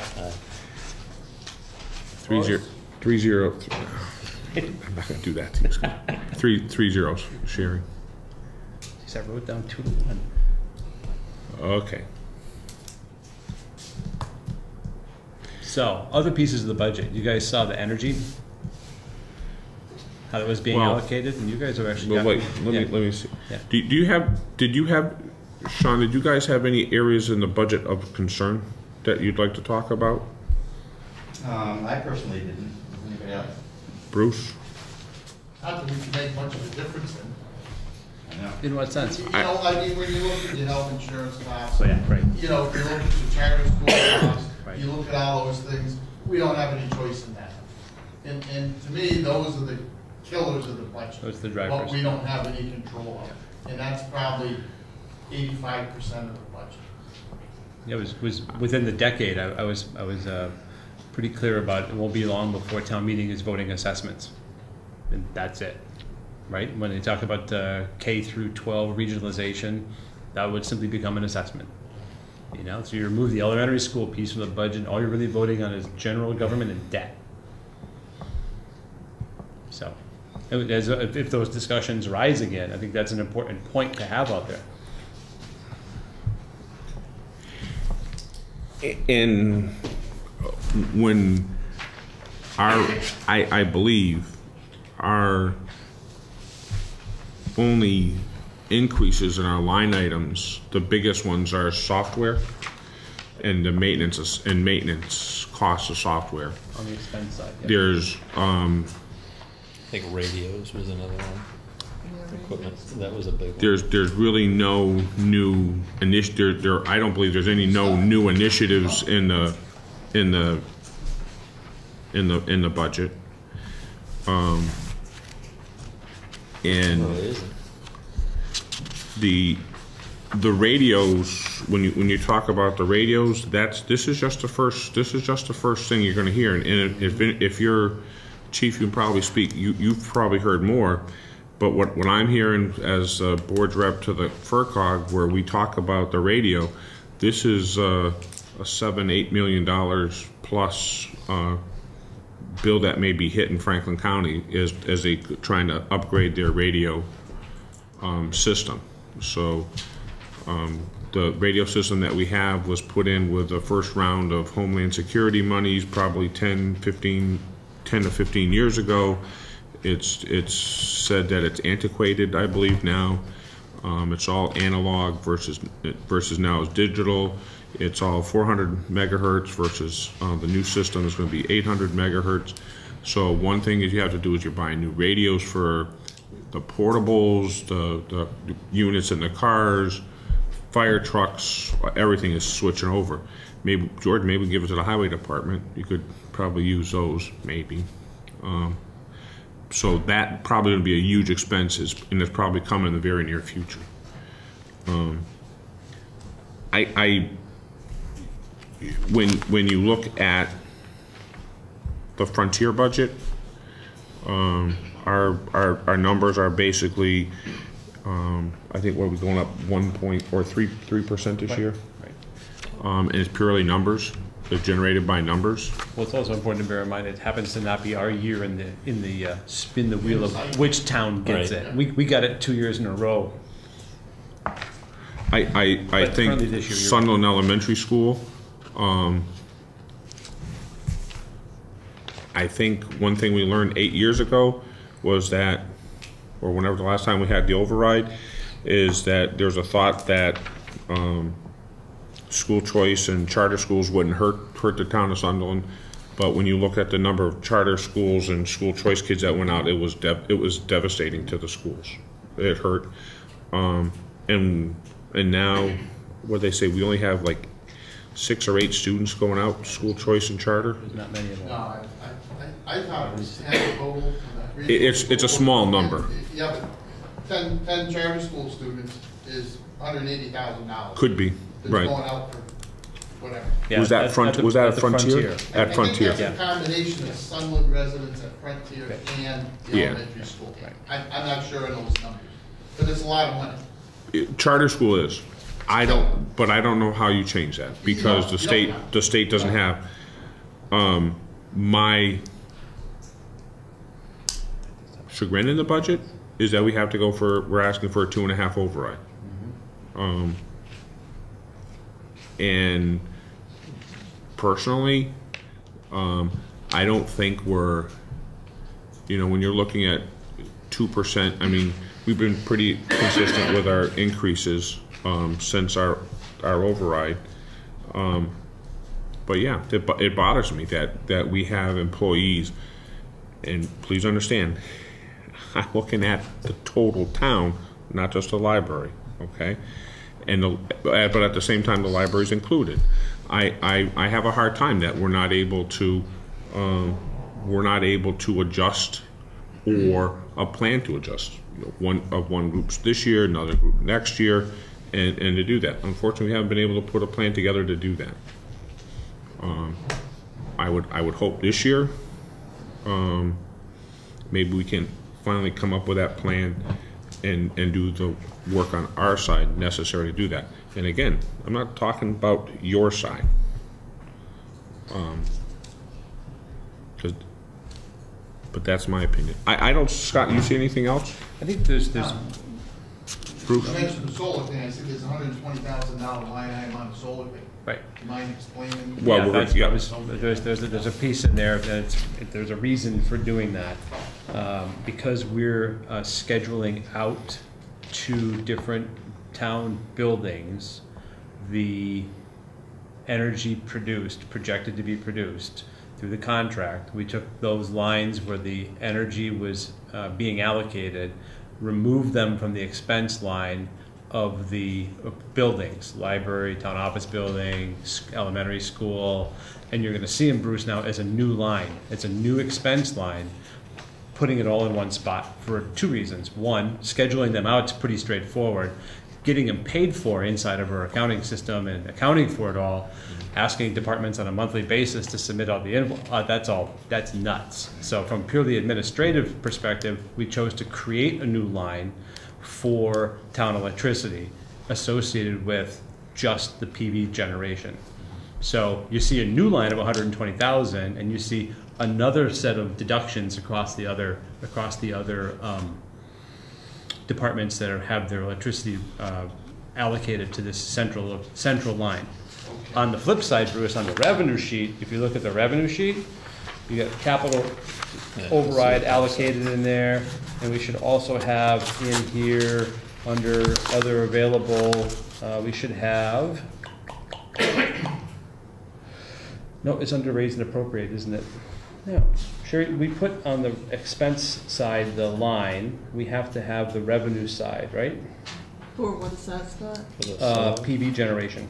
We're not sure what that number's going to be. So we didn't plug it in. So this year, got it. We need So- to- But we wanted So a year you're, under you're you're gonna, belt. s- Yeah, we don't so know. you're gonna see one full year of production, and then we'll be able to plug it in.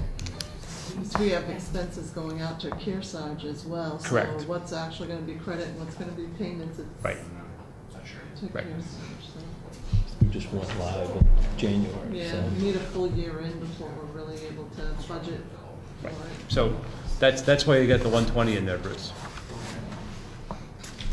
And you can see the highlighting, if you look at town office energy down by ten, you look at three thousand off by the highway garage, seventeen thousand off by the, uh, li- library, eleven thousand off by the, um,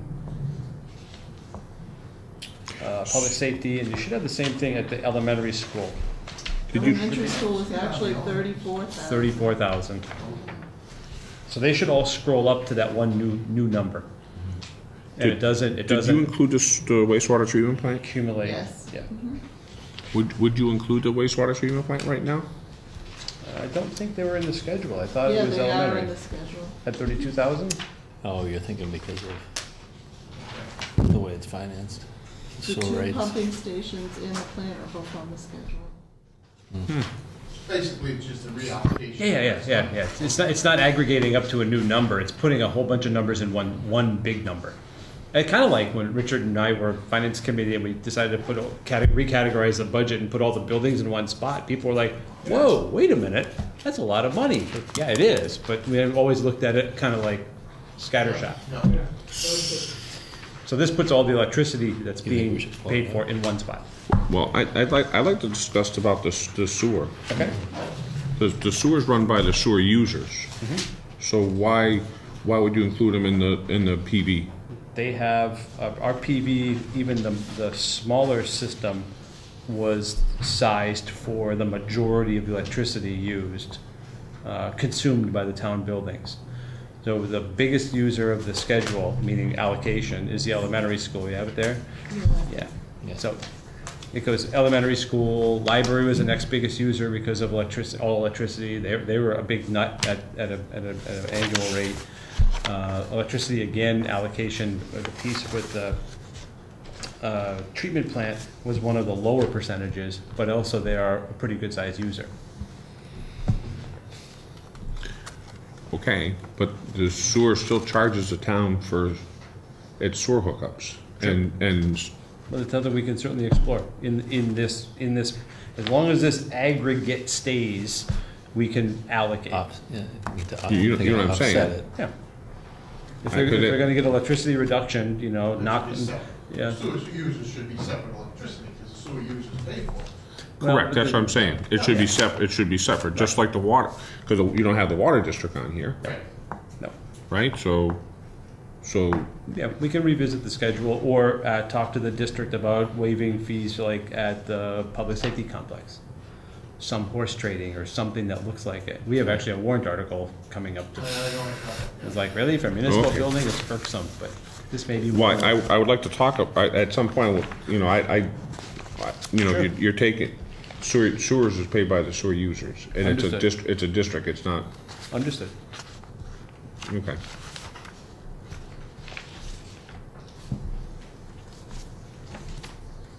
Was that, does that answer your question?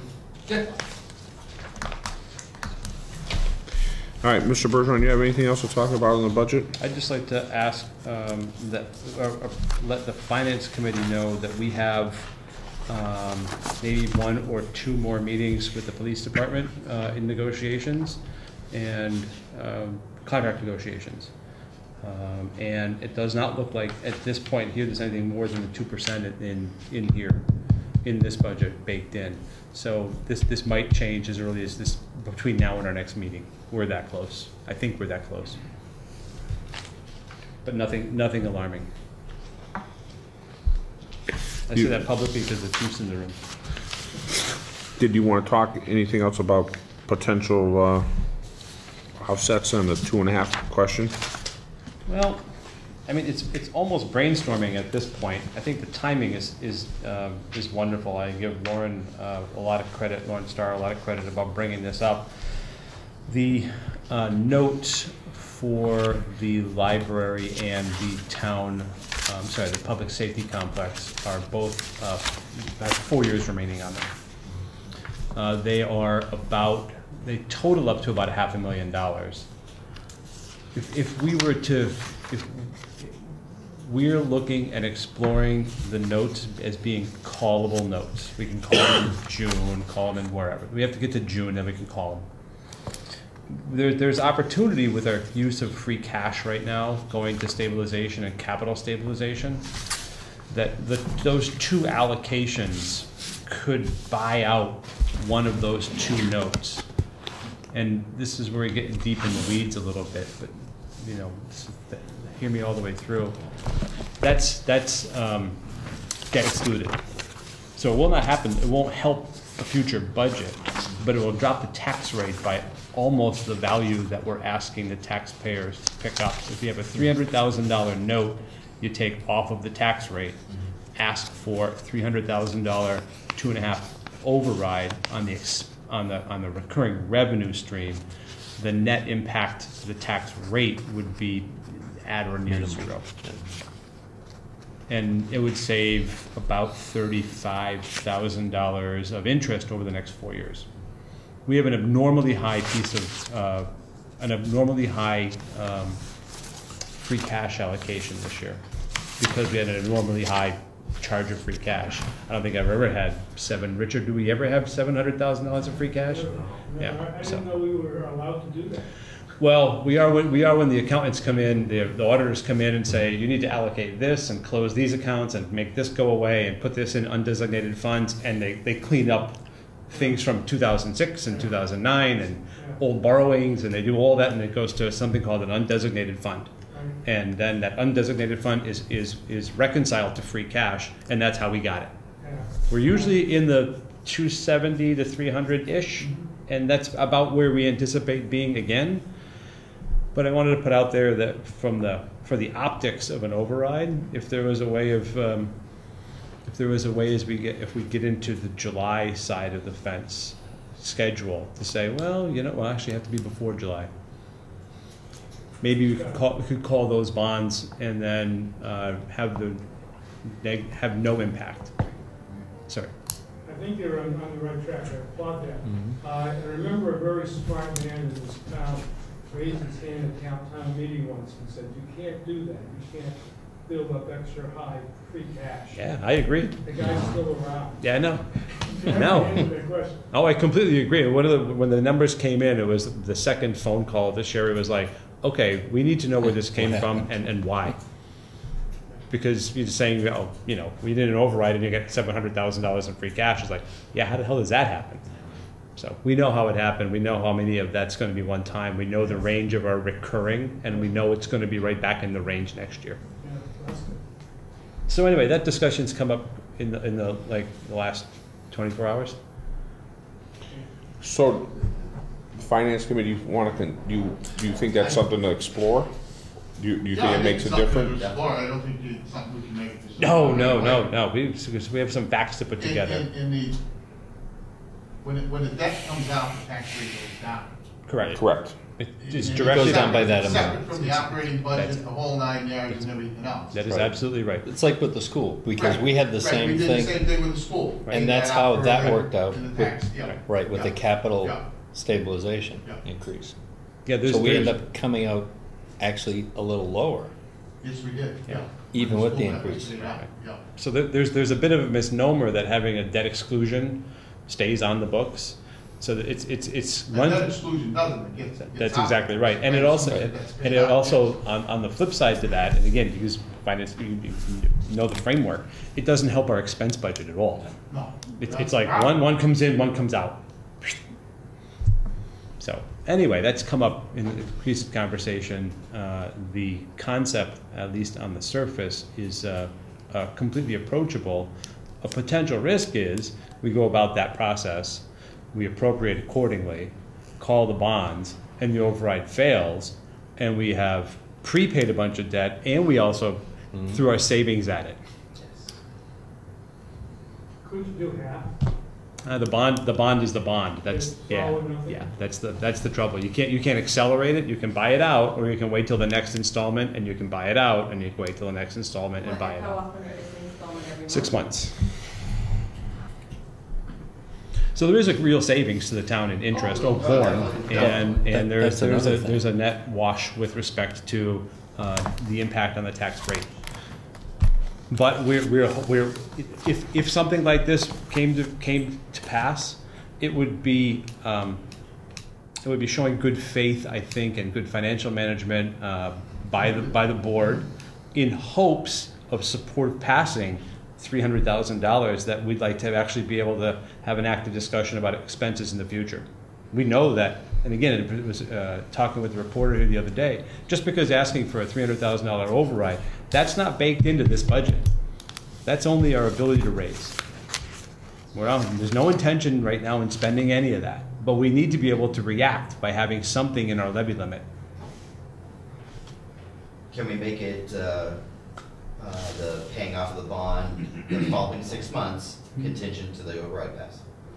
Yeah, that's part of the exploration, as, as as you go about the brainstorming of the mechanism. So then you don't penalize yourself if it doesn't Right. Yeah, pass. because you Tie get it it together. whole. Right. Well, You don't exactly. go around, Exactly right. Right. Put the horse before the carriage. And, and this is, Carriage before the horse. this is one of those things too, that if, uh, you know, if we all decide to do this, it's incumbent on, you know, every one of us as we talk to people to make sure that the right, and you can only do this so far, but make sure incorrect information isn't getting circulated about, you know, what goes on out there.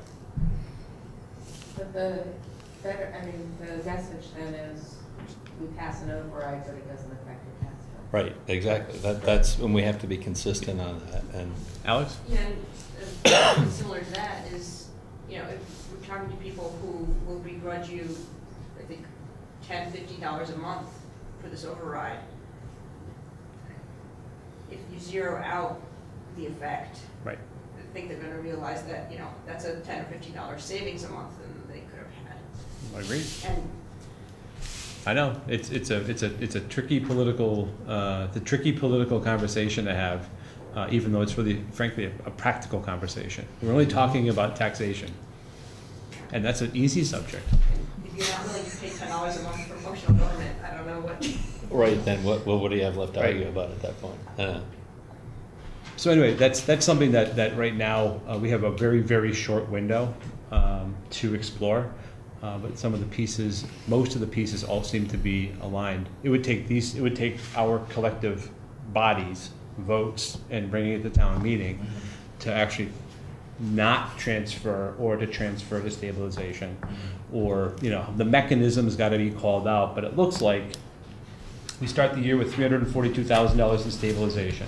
We planned on returning fifty-one from a prior year's town meeting and pro- uh, plan on uh, uh, using the, the second part of that third of the stabiliz, I'm sorry, of the free cash to stabilization. That would add a total of one twenty-seven five to stabilization by itself. Again, using the formula, we would add two twenty-seven to capital stabilization a combination or a larger percentage of those two could buy out the debt. Mm-hmm. Yeah, exactly. Now, we're starting with nineteen thousand in stabilization. We know we have through taxation, hundred and seven thousand we're adding. And we'll add two and a half percent, one hundred, one point oh two five of that next year. So the capital budget is gonna be awfully close, and we have to run those numbers. We have an insurance payout uh, that can pay for part of the cruiser replacement. Was it twenty-eight? Yeah, something like that. Twenty-eight grand. So that, that, those two numbers come dangerously close to actually matching up, and we would leave the capital budget voted, we would leave capital stabilization with a, a- a token amount. But it's important to bear in mind, capital stabilization can be used for one thing, capital. So as long as we don't have a big capital problem for another year, we started the year with nineteen thousand. So anyway, that's the discussion right now. I think the optics are dis- are, are, are really, um, difficult discussion around, uh, staff and wages. Um, can be served, uh, by having something that's predictable going forward. Along the lines of uh, wages for non-union, non-library Yeah, people? yeah. could You consider raising them, I mean, I think, I don't have the numbers in front of me, but in what you just approved, our people have been given raises of like fifty cents an hour. Uh, The incremental increase, could that not be also given to the other non-union, non-library employees so that we can begin this process? sure, Not even in terms of comparison, but just knowing we're behind and starting with them on the way up? There's, it's a, it's a very good question, if I could, Mr. Chair. It's a, it's a very good question, but we have to have the revenues first. Right now, we don't have the revenues. You can't give them a raise out of nothing we have. That was the unfortunate, if you're looking strictly at revenues, we didn't have enough to cover the two percent. Which is That's- different than our desire. It's, it's the inherent tension of municipal budgeting. We can't raise the price without, without the customer saying yes. And we're hoping the customer says yes with this vote. But that's not in there. That's not in We here. to say yes. Right, because we have to appropriate a budget, and then that question is a week afterwards. What's the earliest date you can pull an override? Can you do it at the May election, or does it? It- Yeah, It's, on- it's on the ballot. That's what it will be, It's right. on the ballot.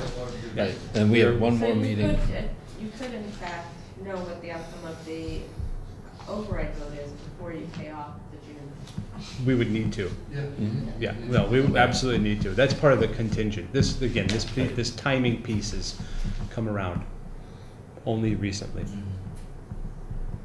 And that's a good point earlier about just because we allocate to raise that doesn't mean we're spending it all either. No, you're talking about It's just the ability There's- There's do not it. three hundred thousand dollars of expenses. We're looking to close three hundred thousand dollars worth of structural gap in the next year. We know this year we had almost four hundred thousand, four oh seven, seven oh four in the last two years. We can't do that for a third year. Even this budget, again, this budget has a, a net increase of two seventy? Two eighty-three plus. When we have hundred and six to hundred and thirty thousand, I think this year's hundred and thirty and change of two and a half and new growth. Those two numbers, Richard, you're talking about percentages and stretching it out. That, that number, that two eighty-three from this year and the whatever from last year, the two fifty-nine from the prior year, the two sixty-two from the prior year, the two sixty-nine from fiscal year sixteen, that, that keeps going. When our two and a half is, you know, it's the exact same thing you were describing earlier. I was scratching out, but you guys probably figured this out, I don't know yet. Is there any money in these budgets for the uh, celebrations? Yes. In the warrant article, Is there any warning? Yeah. yeah. There is some, there's some- some use of free cash And associated with that's, that. okay, that's the source, is the free free cash Free cash. for celebrations? Right. Again, it's one time. Hmm. The, the, the number is one, one hundred twenty-five thousand dollars. On the warrant article. But, Right. please remember, when you put something on a warrant, the moderator has a hard and fast rule. They'll only raise it to a million. He won't, he won't let them go up, but he'll let them go down. Correct, Mr. Moderator? When did that rule go into effect? Well, back in 1673, the first moderator in the state of Massachusetts chaired a meeting.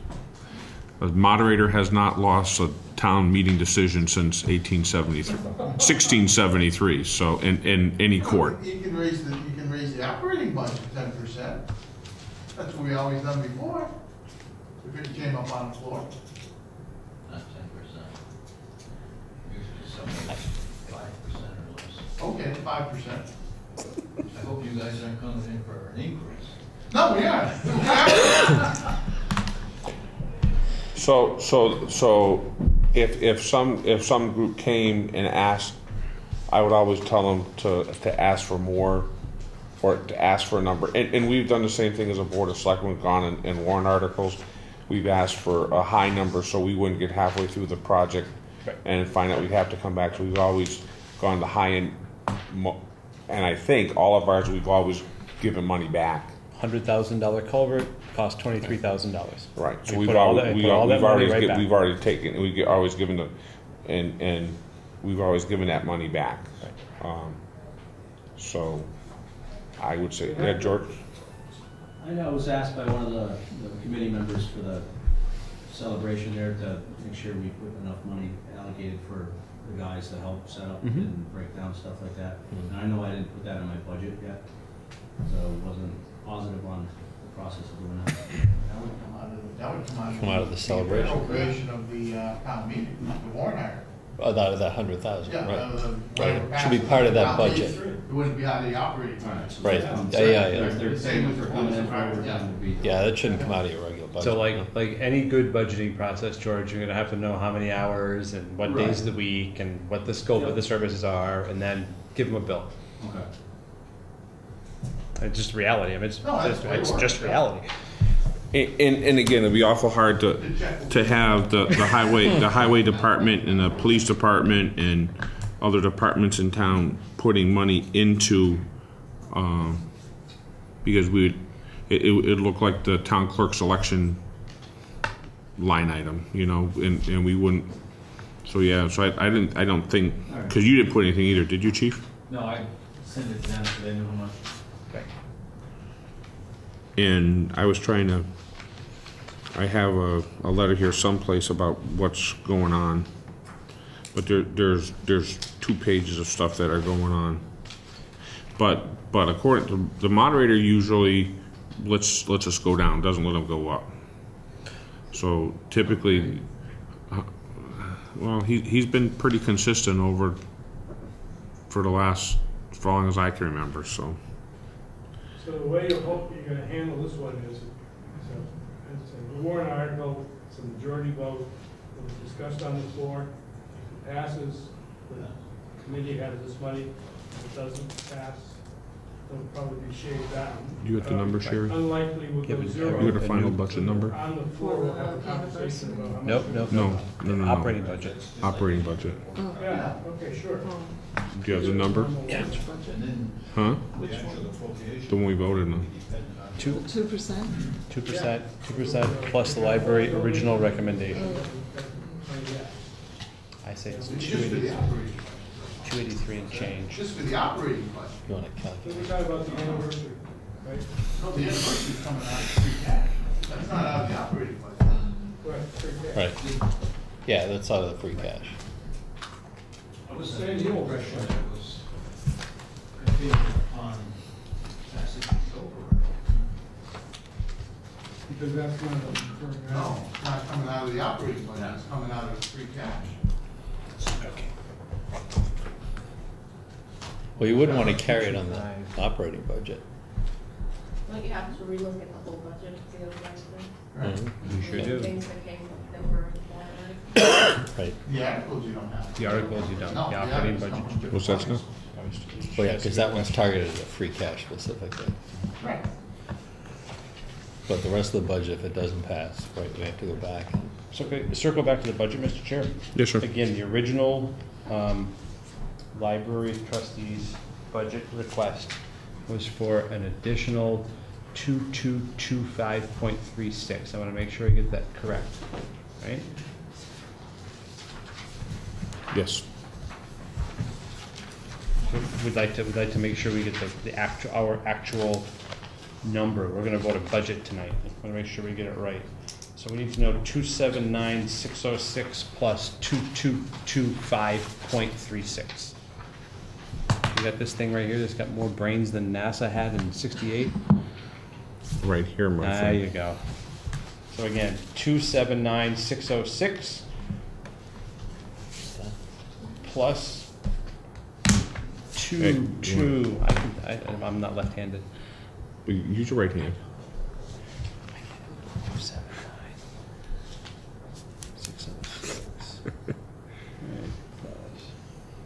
Two, two, two, five.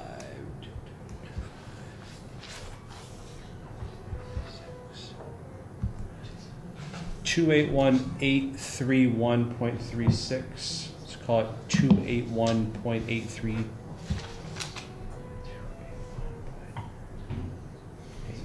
Three one, two hundred eighty-one thousand dollar addition, that's going to also add, one second, You're working off the two percent non-union? two percent non-union plus the two thousand dollars for the library.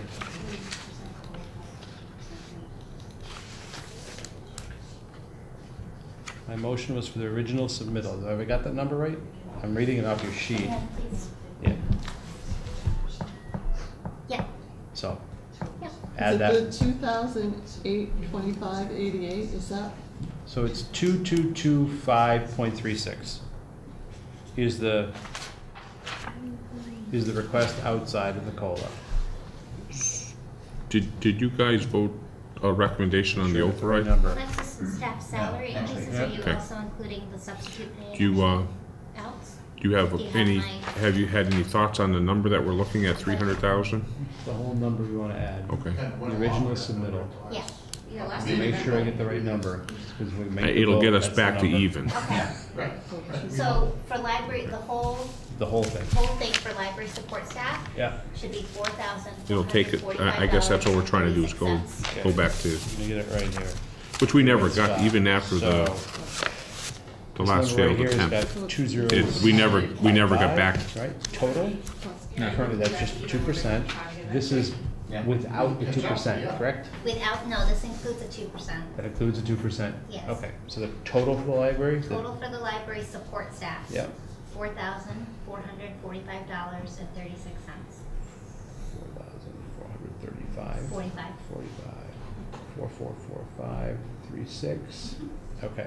And then the director's in a different one. Directors, directors in here at nine four two, what's the director's wages?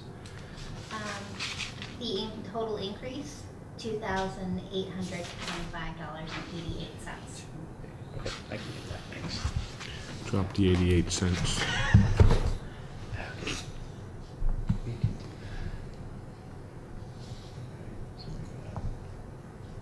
Two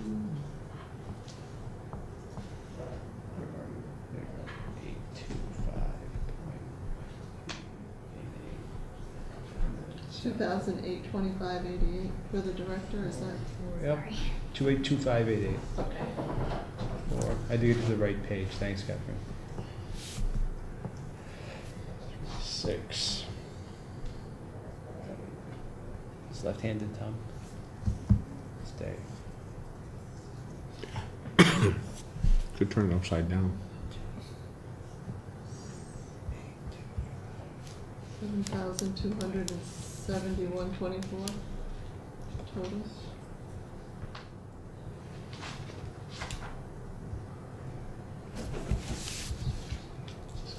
So the library's original proposal budget line was for s- a net increase of seven two seven one point two four, right? And does that have the COLAs built into it? The two percent COLA is in there, correct? Mm-hmm. All right, so the next number is going to be, we can line this.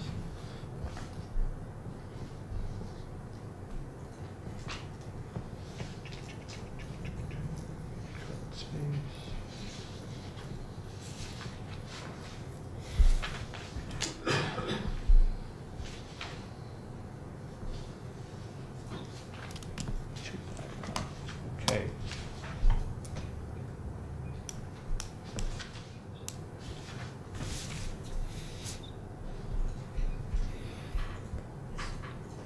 Yep. I'm not sure what numbers I'm hearing flying around, but what it sounds like I heard was Mhm. that the additional amount, which would be the increase over the two percent COLA, is Mhm. like two thousand. Only for staff, two eight two five eight eight.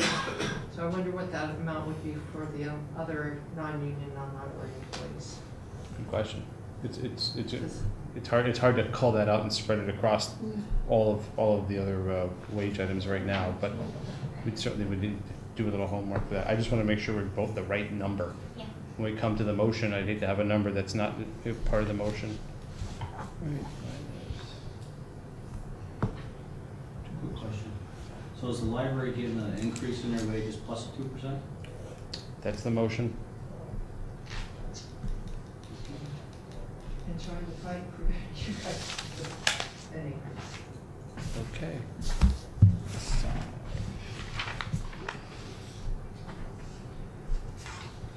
One other question. We did a survey back when Margaret was here, being on the personnel committee. Mhm. We did an average of the non-union and the union employees of how much of a raise they got over a ten-year period. And the non-union employees are down to like a one point two percent. And the union employees, even including the school teachers, were at like a five point six over the ten years. Um, And the non-union teachers actually got a point six average percent or something like that, off the top of my head. Just, basically showing that we kind of do cater towards the union and not the non-union employees. It up. Two one six.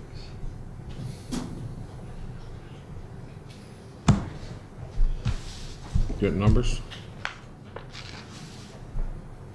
So the total budget increase as currently is an increase of two hundred and eighty-four thousand, eight hundred and twenty-two dollars. Skip the twenty-four cents. That's what I say. Yeah. So that means- You said one point six percent over ten years, George?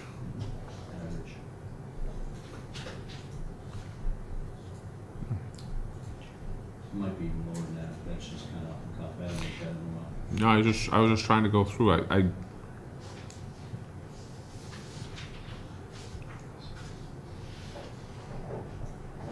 I mean, we, I know, with the, with the highway, I know we got you back to forty hours. That, that wa, that took a, that took a while, but we've been adding the, I, It was about a one percent at least increase of the COLA. but I thought COLAs, we, we've had two and a half, two, two and a half, Well, that, Mo- this was a two year. At this least two or three years. 2%.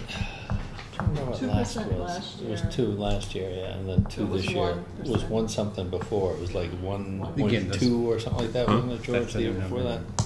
And then one year we got half hour You're- raise. That's the new number.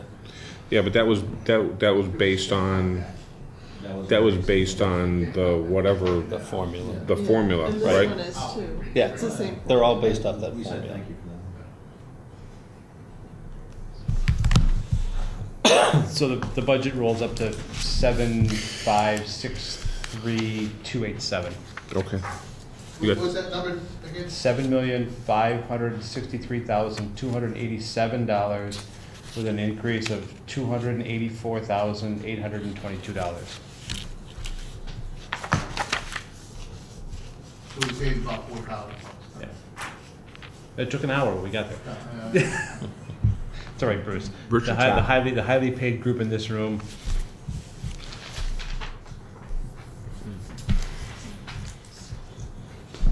Um, so that's, that's the final budget. Uh, move. You got that a that? motion? Move to adopt the budget as amended tonight, operating budget of seven thousand five hundred, seven million, five hundred and sixty-three thousand, two hundred and eighty-seven dollars. An increase of two hundred and eighty-four thousand, eight hundred and twenty-two dollars. Second. Two percent COLA? Two percent COLA.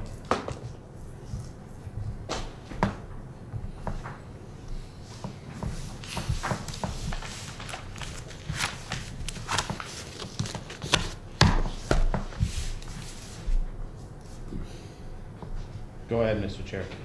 I, I don't, I don't, I'm, I'm very hard pressed to support one group over the other group, but mm-hmm.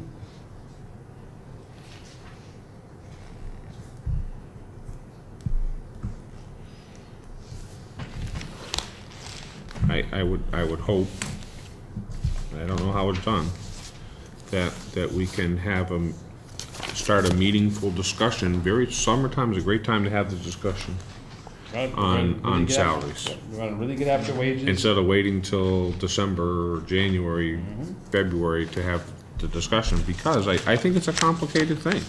And, and to pay somebody five or six thousand dollars to go out do a salary, and please don't take this to heart. I'm talking town-wide.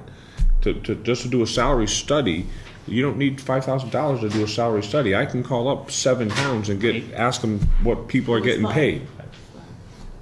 I can, I get, I can, but that's not what, it, it, you want, you know what the people doing comparable jobs are. And I, I think that's a much harder thing to do, and you, and you just can't sit, you can't sit inside these four walls and do that study. Sure. You have, you have, it, it's, that's why, that's why I think that every, a lot of other s- salary things fail. And I still think, and I still think there are some people that are, are underpaid. I think there's some paid, the last, I, last time, didn't we find out that the treasurer collector was, was on, and, or the assessor's clerk, one of them was on the way, I'd have to look at One the of them was scale. higher. I think. was, yeah, was in the one percentile, the, you know, so they're the, the highest around, so. And, and, but that wasn't what the person, so I just, I have a hard time, and I, I guess that's what I've been trying to say all along. is It's, it's hard to set one against another. Sure. And that's what we're doing. So, any other discussion?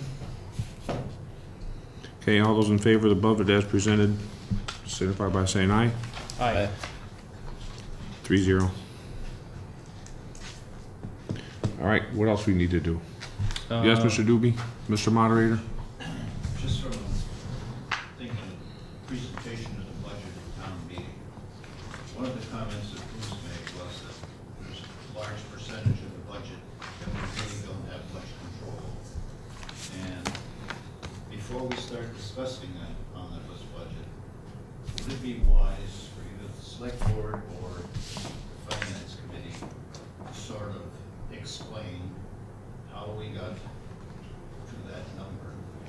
And so that when it comes up to two hundred and eighty thousand dollars over, that folks are gonna understand that we got there because you had to. You know, Not get into the nitty gritty, but.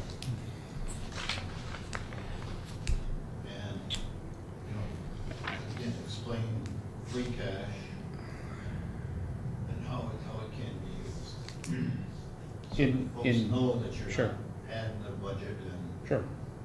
So in, two, just to answer your question, Mr. Chair, it could be done in two, two lines in the budget. Total schools, one hundred and fifty-two thousand, three hundred and one dollars. Total benefits, ninety-one thousand, two hundred and seventy-nine dollars. The rest of it is across seven million dollars. Two, two lines. people need to understand that. Mhm. And most of the time, there's not enough discussion on Yeah. the line items, Yeah. especially in school, Mhm. or the schools, for people to understand. How, how, how would you like to discuss the school budget, Mr. Moderator? I mean, the school, the, we, we've, we've had the schools get up and talk about their budget before. I, I don't know, I don't know how we would really change.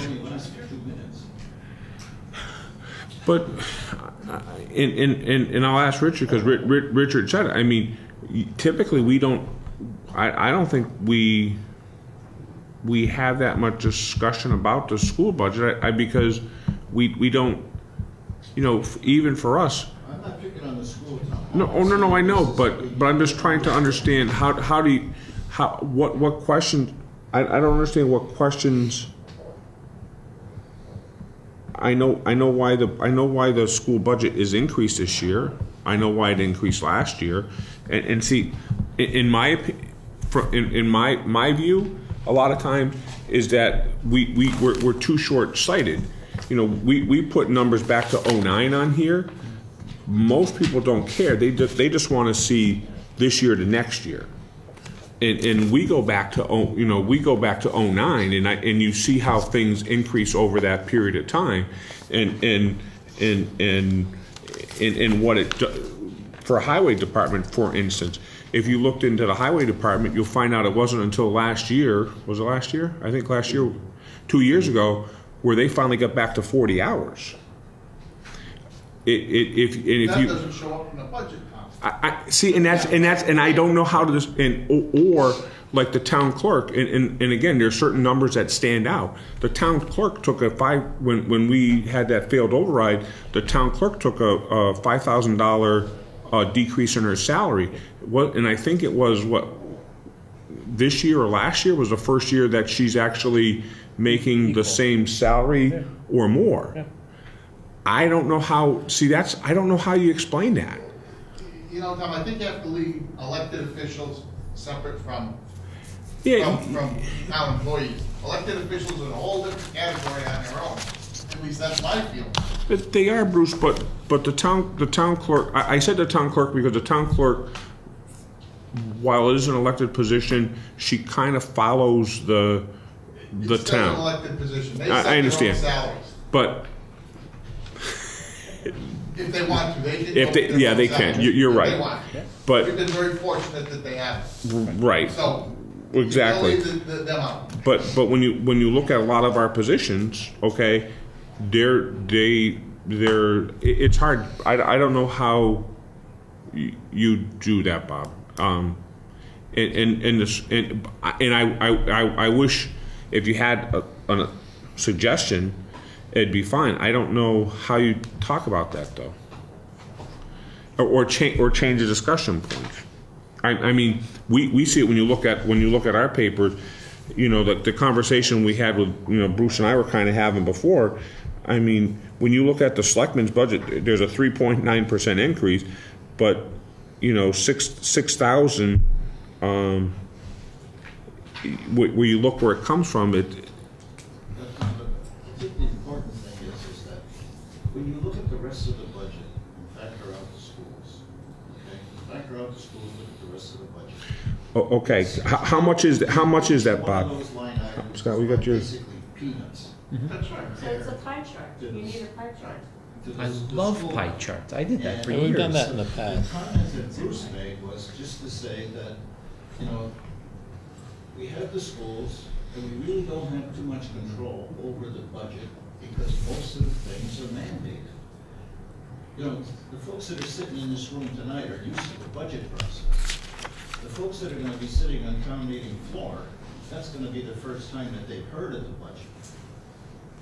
And also the voters that vote on an override, whether they're for or against it. You know, they're just looking at the 41,000. bottom line, my taxes are gonna go up. Total's I'm against it. 41. And, and no one wants to see their taxes increase, but if you realize why they have to increase. That's everything right there. It, it makes a difference. This Yeah. is minus the two. So, think it was a yeah, question on my yeah, part. so. Oh, so no, just- I, I'm, I'm just trying to, I'm, I'm just, I'm just trying to, s- what I'm trying to do is trying to, kind of trying to find a way to put what you're saying into words that, that we can use.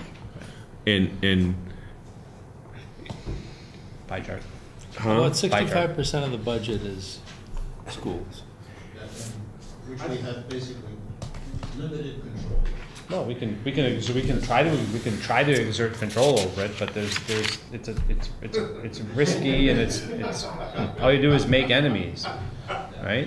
So Bob, the, the, the punchline, the raw numbers, um, of, of the two line items, total education and benefits, everything else in the budget that is growth is forty-one thousand dollars, total, all of it. Well, that's another good pie chart. I agree, I, I think a pie chart would be a good idea. I agree. Or some coded way of having it stand out what Yep. items you have no control over, or we, we don't have any control over. Mhm. People ought to see that. Sure. Some, some graphic of a red ball bullet or something that says, you know, oh, can't talk about that, nothing you do about that, one, nothing you can do about that. one. Then we get to the number you can't do. Twenty-eight thousand left, that's That's it. it. That's it. Right. Interesting to know point. That. It- it- It's getting worse. Well, and you- yeah. No, it isn't. And you have to factor in the costs, because I did that earlier in the year. I actually created pie charts, and then I had a, a- within the pie chart, I had a total education cost, what that is out of the budget. And then within the education, you had a breakout of Frontier and the elementary school. But then you also have to factor in that we pay for the health and other things for the teachers. So then that's an added figure you actually got to in- include in there technically as part of the education cost, not just the the obvious part. You know, and, and I think it ended up coming up around 65, 64, 65 percent or so of the budget was schools. But it's even more complicated than that, because what you don't, what you don't see is you, is you don't, you don't see, and it's because it's taken off from our cherry sheet numbers, mm-hmm. you don't see s- school mm-hmm. choice, you don't see charter schools, Right. you, you- you don't see that, you- and you don't see, like David saying That comes right out that. of our budget, the town's money. I, and, and you don't see that, you don't see the health, you don't see the health costs, you don't see the, the little things like, and, and The- how much time is our- The driveways, the school properties. Well, how much time does a treasurer collector spend on, on, on, Administering benefits? right, and how much does, our- does our accountant spend, how much does the accountant spend working on a school? You don't, you don't see all, and, and I don't even know how, Even payroll, I mean. it- You can do Right, it the by pa- accounting method. What's If each- that? If each, if each person in, in, in government has a way of allocating how many hours they spend each week or each day doing certain tasks for different departments, then you can allocate it that way. Right. you, That's the only way, it's a time-consuming process, and you To- can do it. and, and, and that's why I said it, it's so, it's so difficult because, um, we, and again, we've always considered the school part of our community. And, you know, we, we don't, se- we don't have the police department, we don't separate out their health benefits and, and, and, you know, that, the, the cost of doing business and the, uh, the, between cruisers and, and, and, and, um, weapons, and we should give them bullets, you know, we do allocate only three bullets a month for training, so, uh, well, you have, they have a fifteen you know, clip for fifteen bullets, it's pretty hard when they have to have put, you know, wood, wood stick in there, but. I, I, I mean, I don't know how, Bob, I, you know, and, and they, ju- just, just, just quick numbers, the, our budget, take away the debt and interest, take away the wastewater treatment plant, and it's like six point six, almost six point seven million, and we spend just raw numbers on education, four point four. What does that tell us, though? I, I mean, and, and, but when you go down, I, you, I, I I look at see, and I wish I wish you could have this conversation, and and, and I, I can talk about our highway. We have three people in our highway department. We've had three people. Well, we can have three, but we can have we can have we can ha- we can have three people in our in our, in our highway department. We've had three people in the highway department since As long as I can remember. Since I've been here. and and, and back back in the early '90s, we probably had three people. Um, I think it I- goes back further than that now. Yeah, you- You're probably right, Bruce. But but I, I, would, I would ask how many towns can get by with three highway guys, and and very very few. I, I, I, would say you know you you look at the collector treasurer.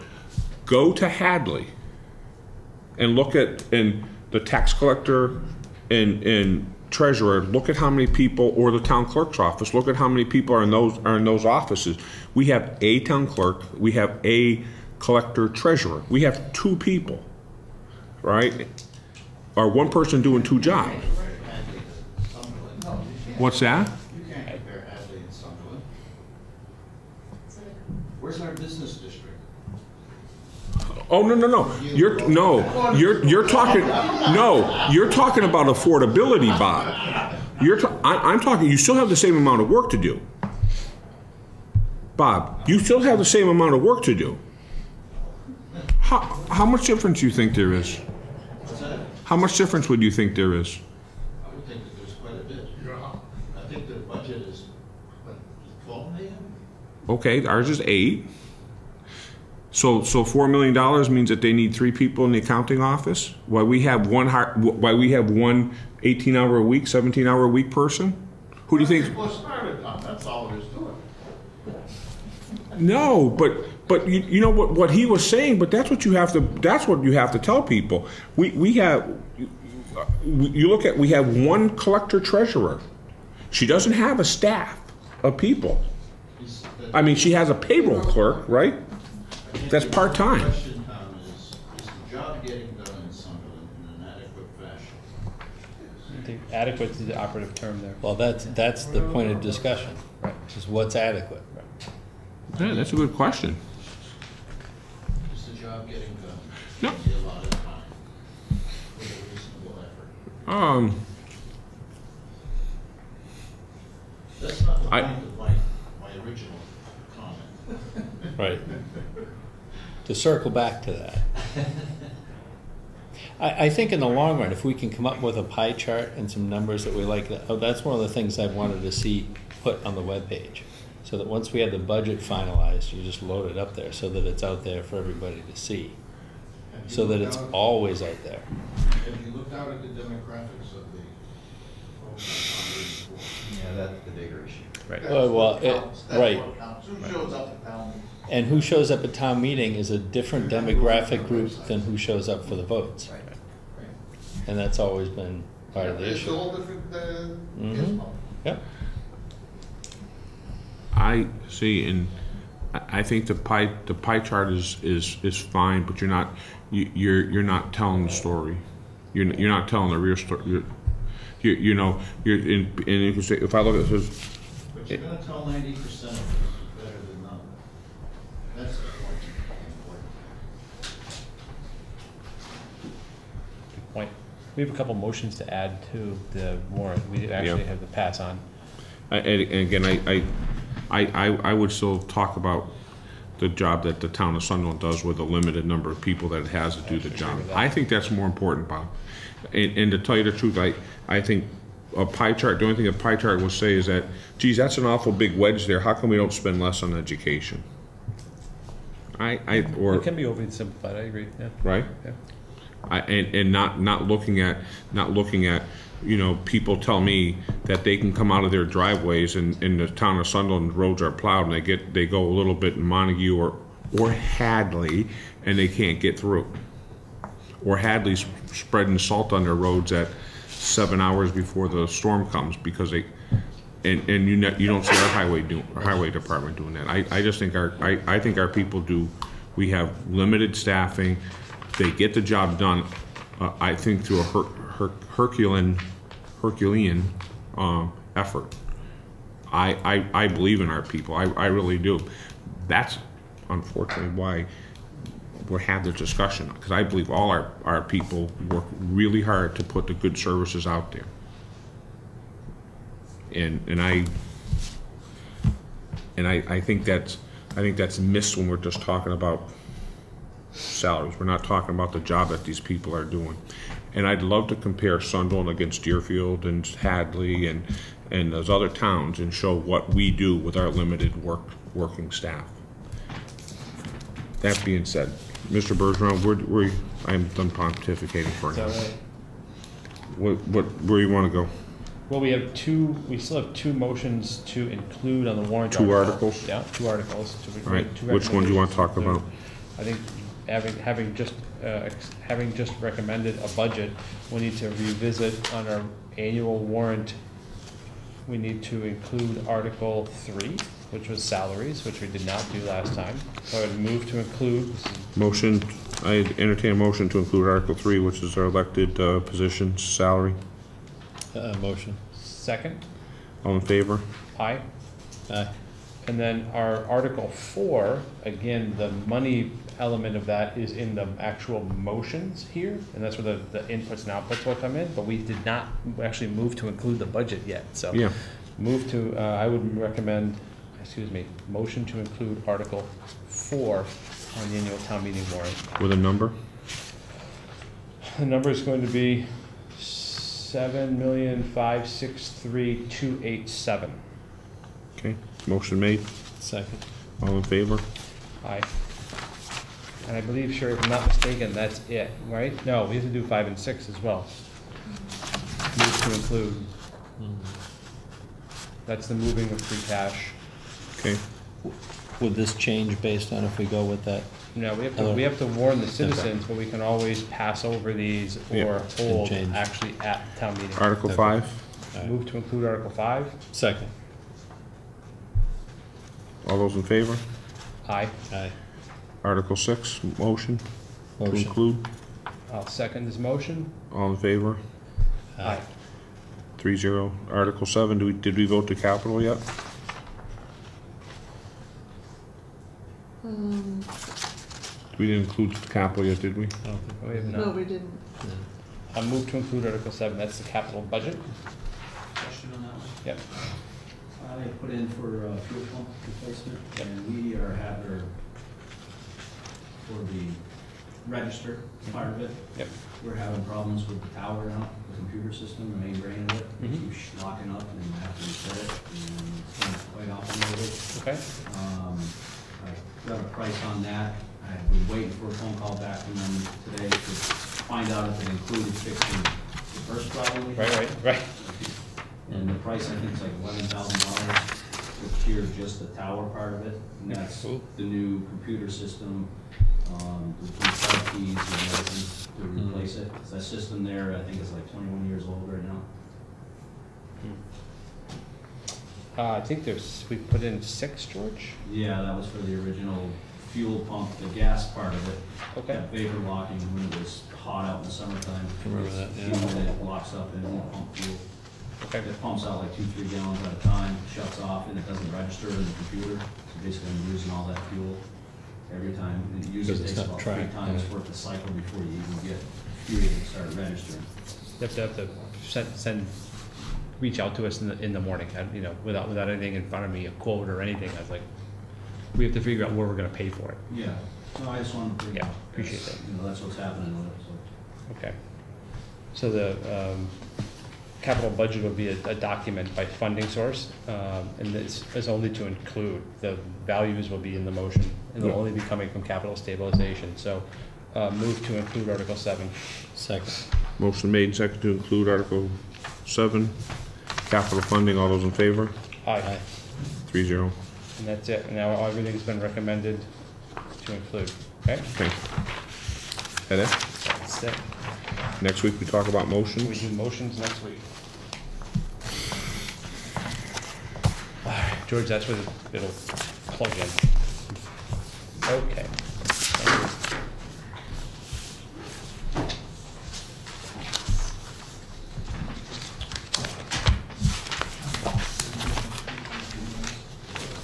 Now, where the heck is my, One, two, three. Steady. I'll have it in the shredder. Which piece? my agenda? Oh, Here's yeah. one. Take that. Okay. Um, minutes from, uh, four ten? Motion on those. Uh, Second.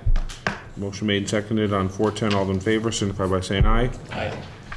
Um, we uh, already voted the uh, affordable housing, town administrator updates.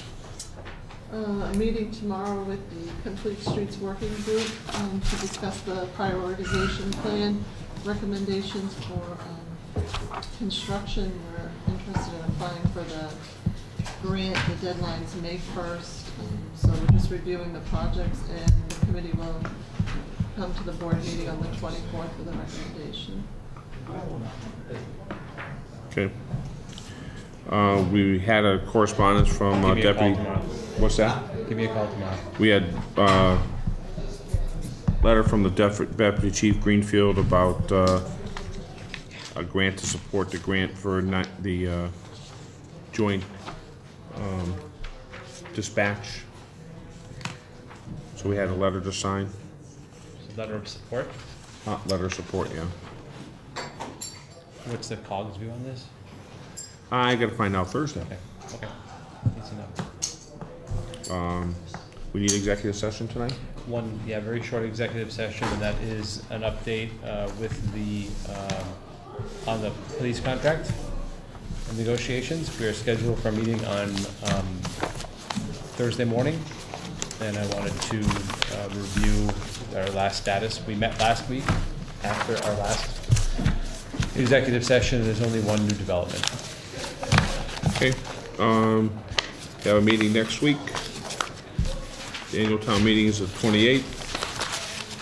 Um, at this time, I'd like to make a motion, Mass General Law, Chapter thirty A, Section twenty-one, Item three, discuss, uh, strategy with respect to collective bargaining or litigation if open meeting may have a detrimental effect on the bargaining or litigation position of the public body, and the chair so declares, chair does declare.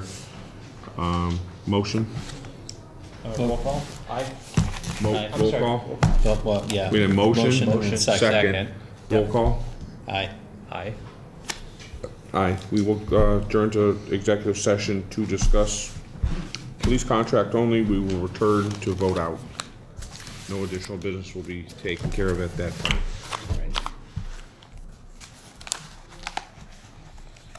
Easy, George. Easy. What's that?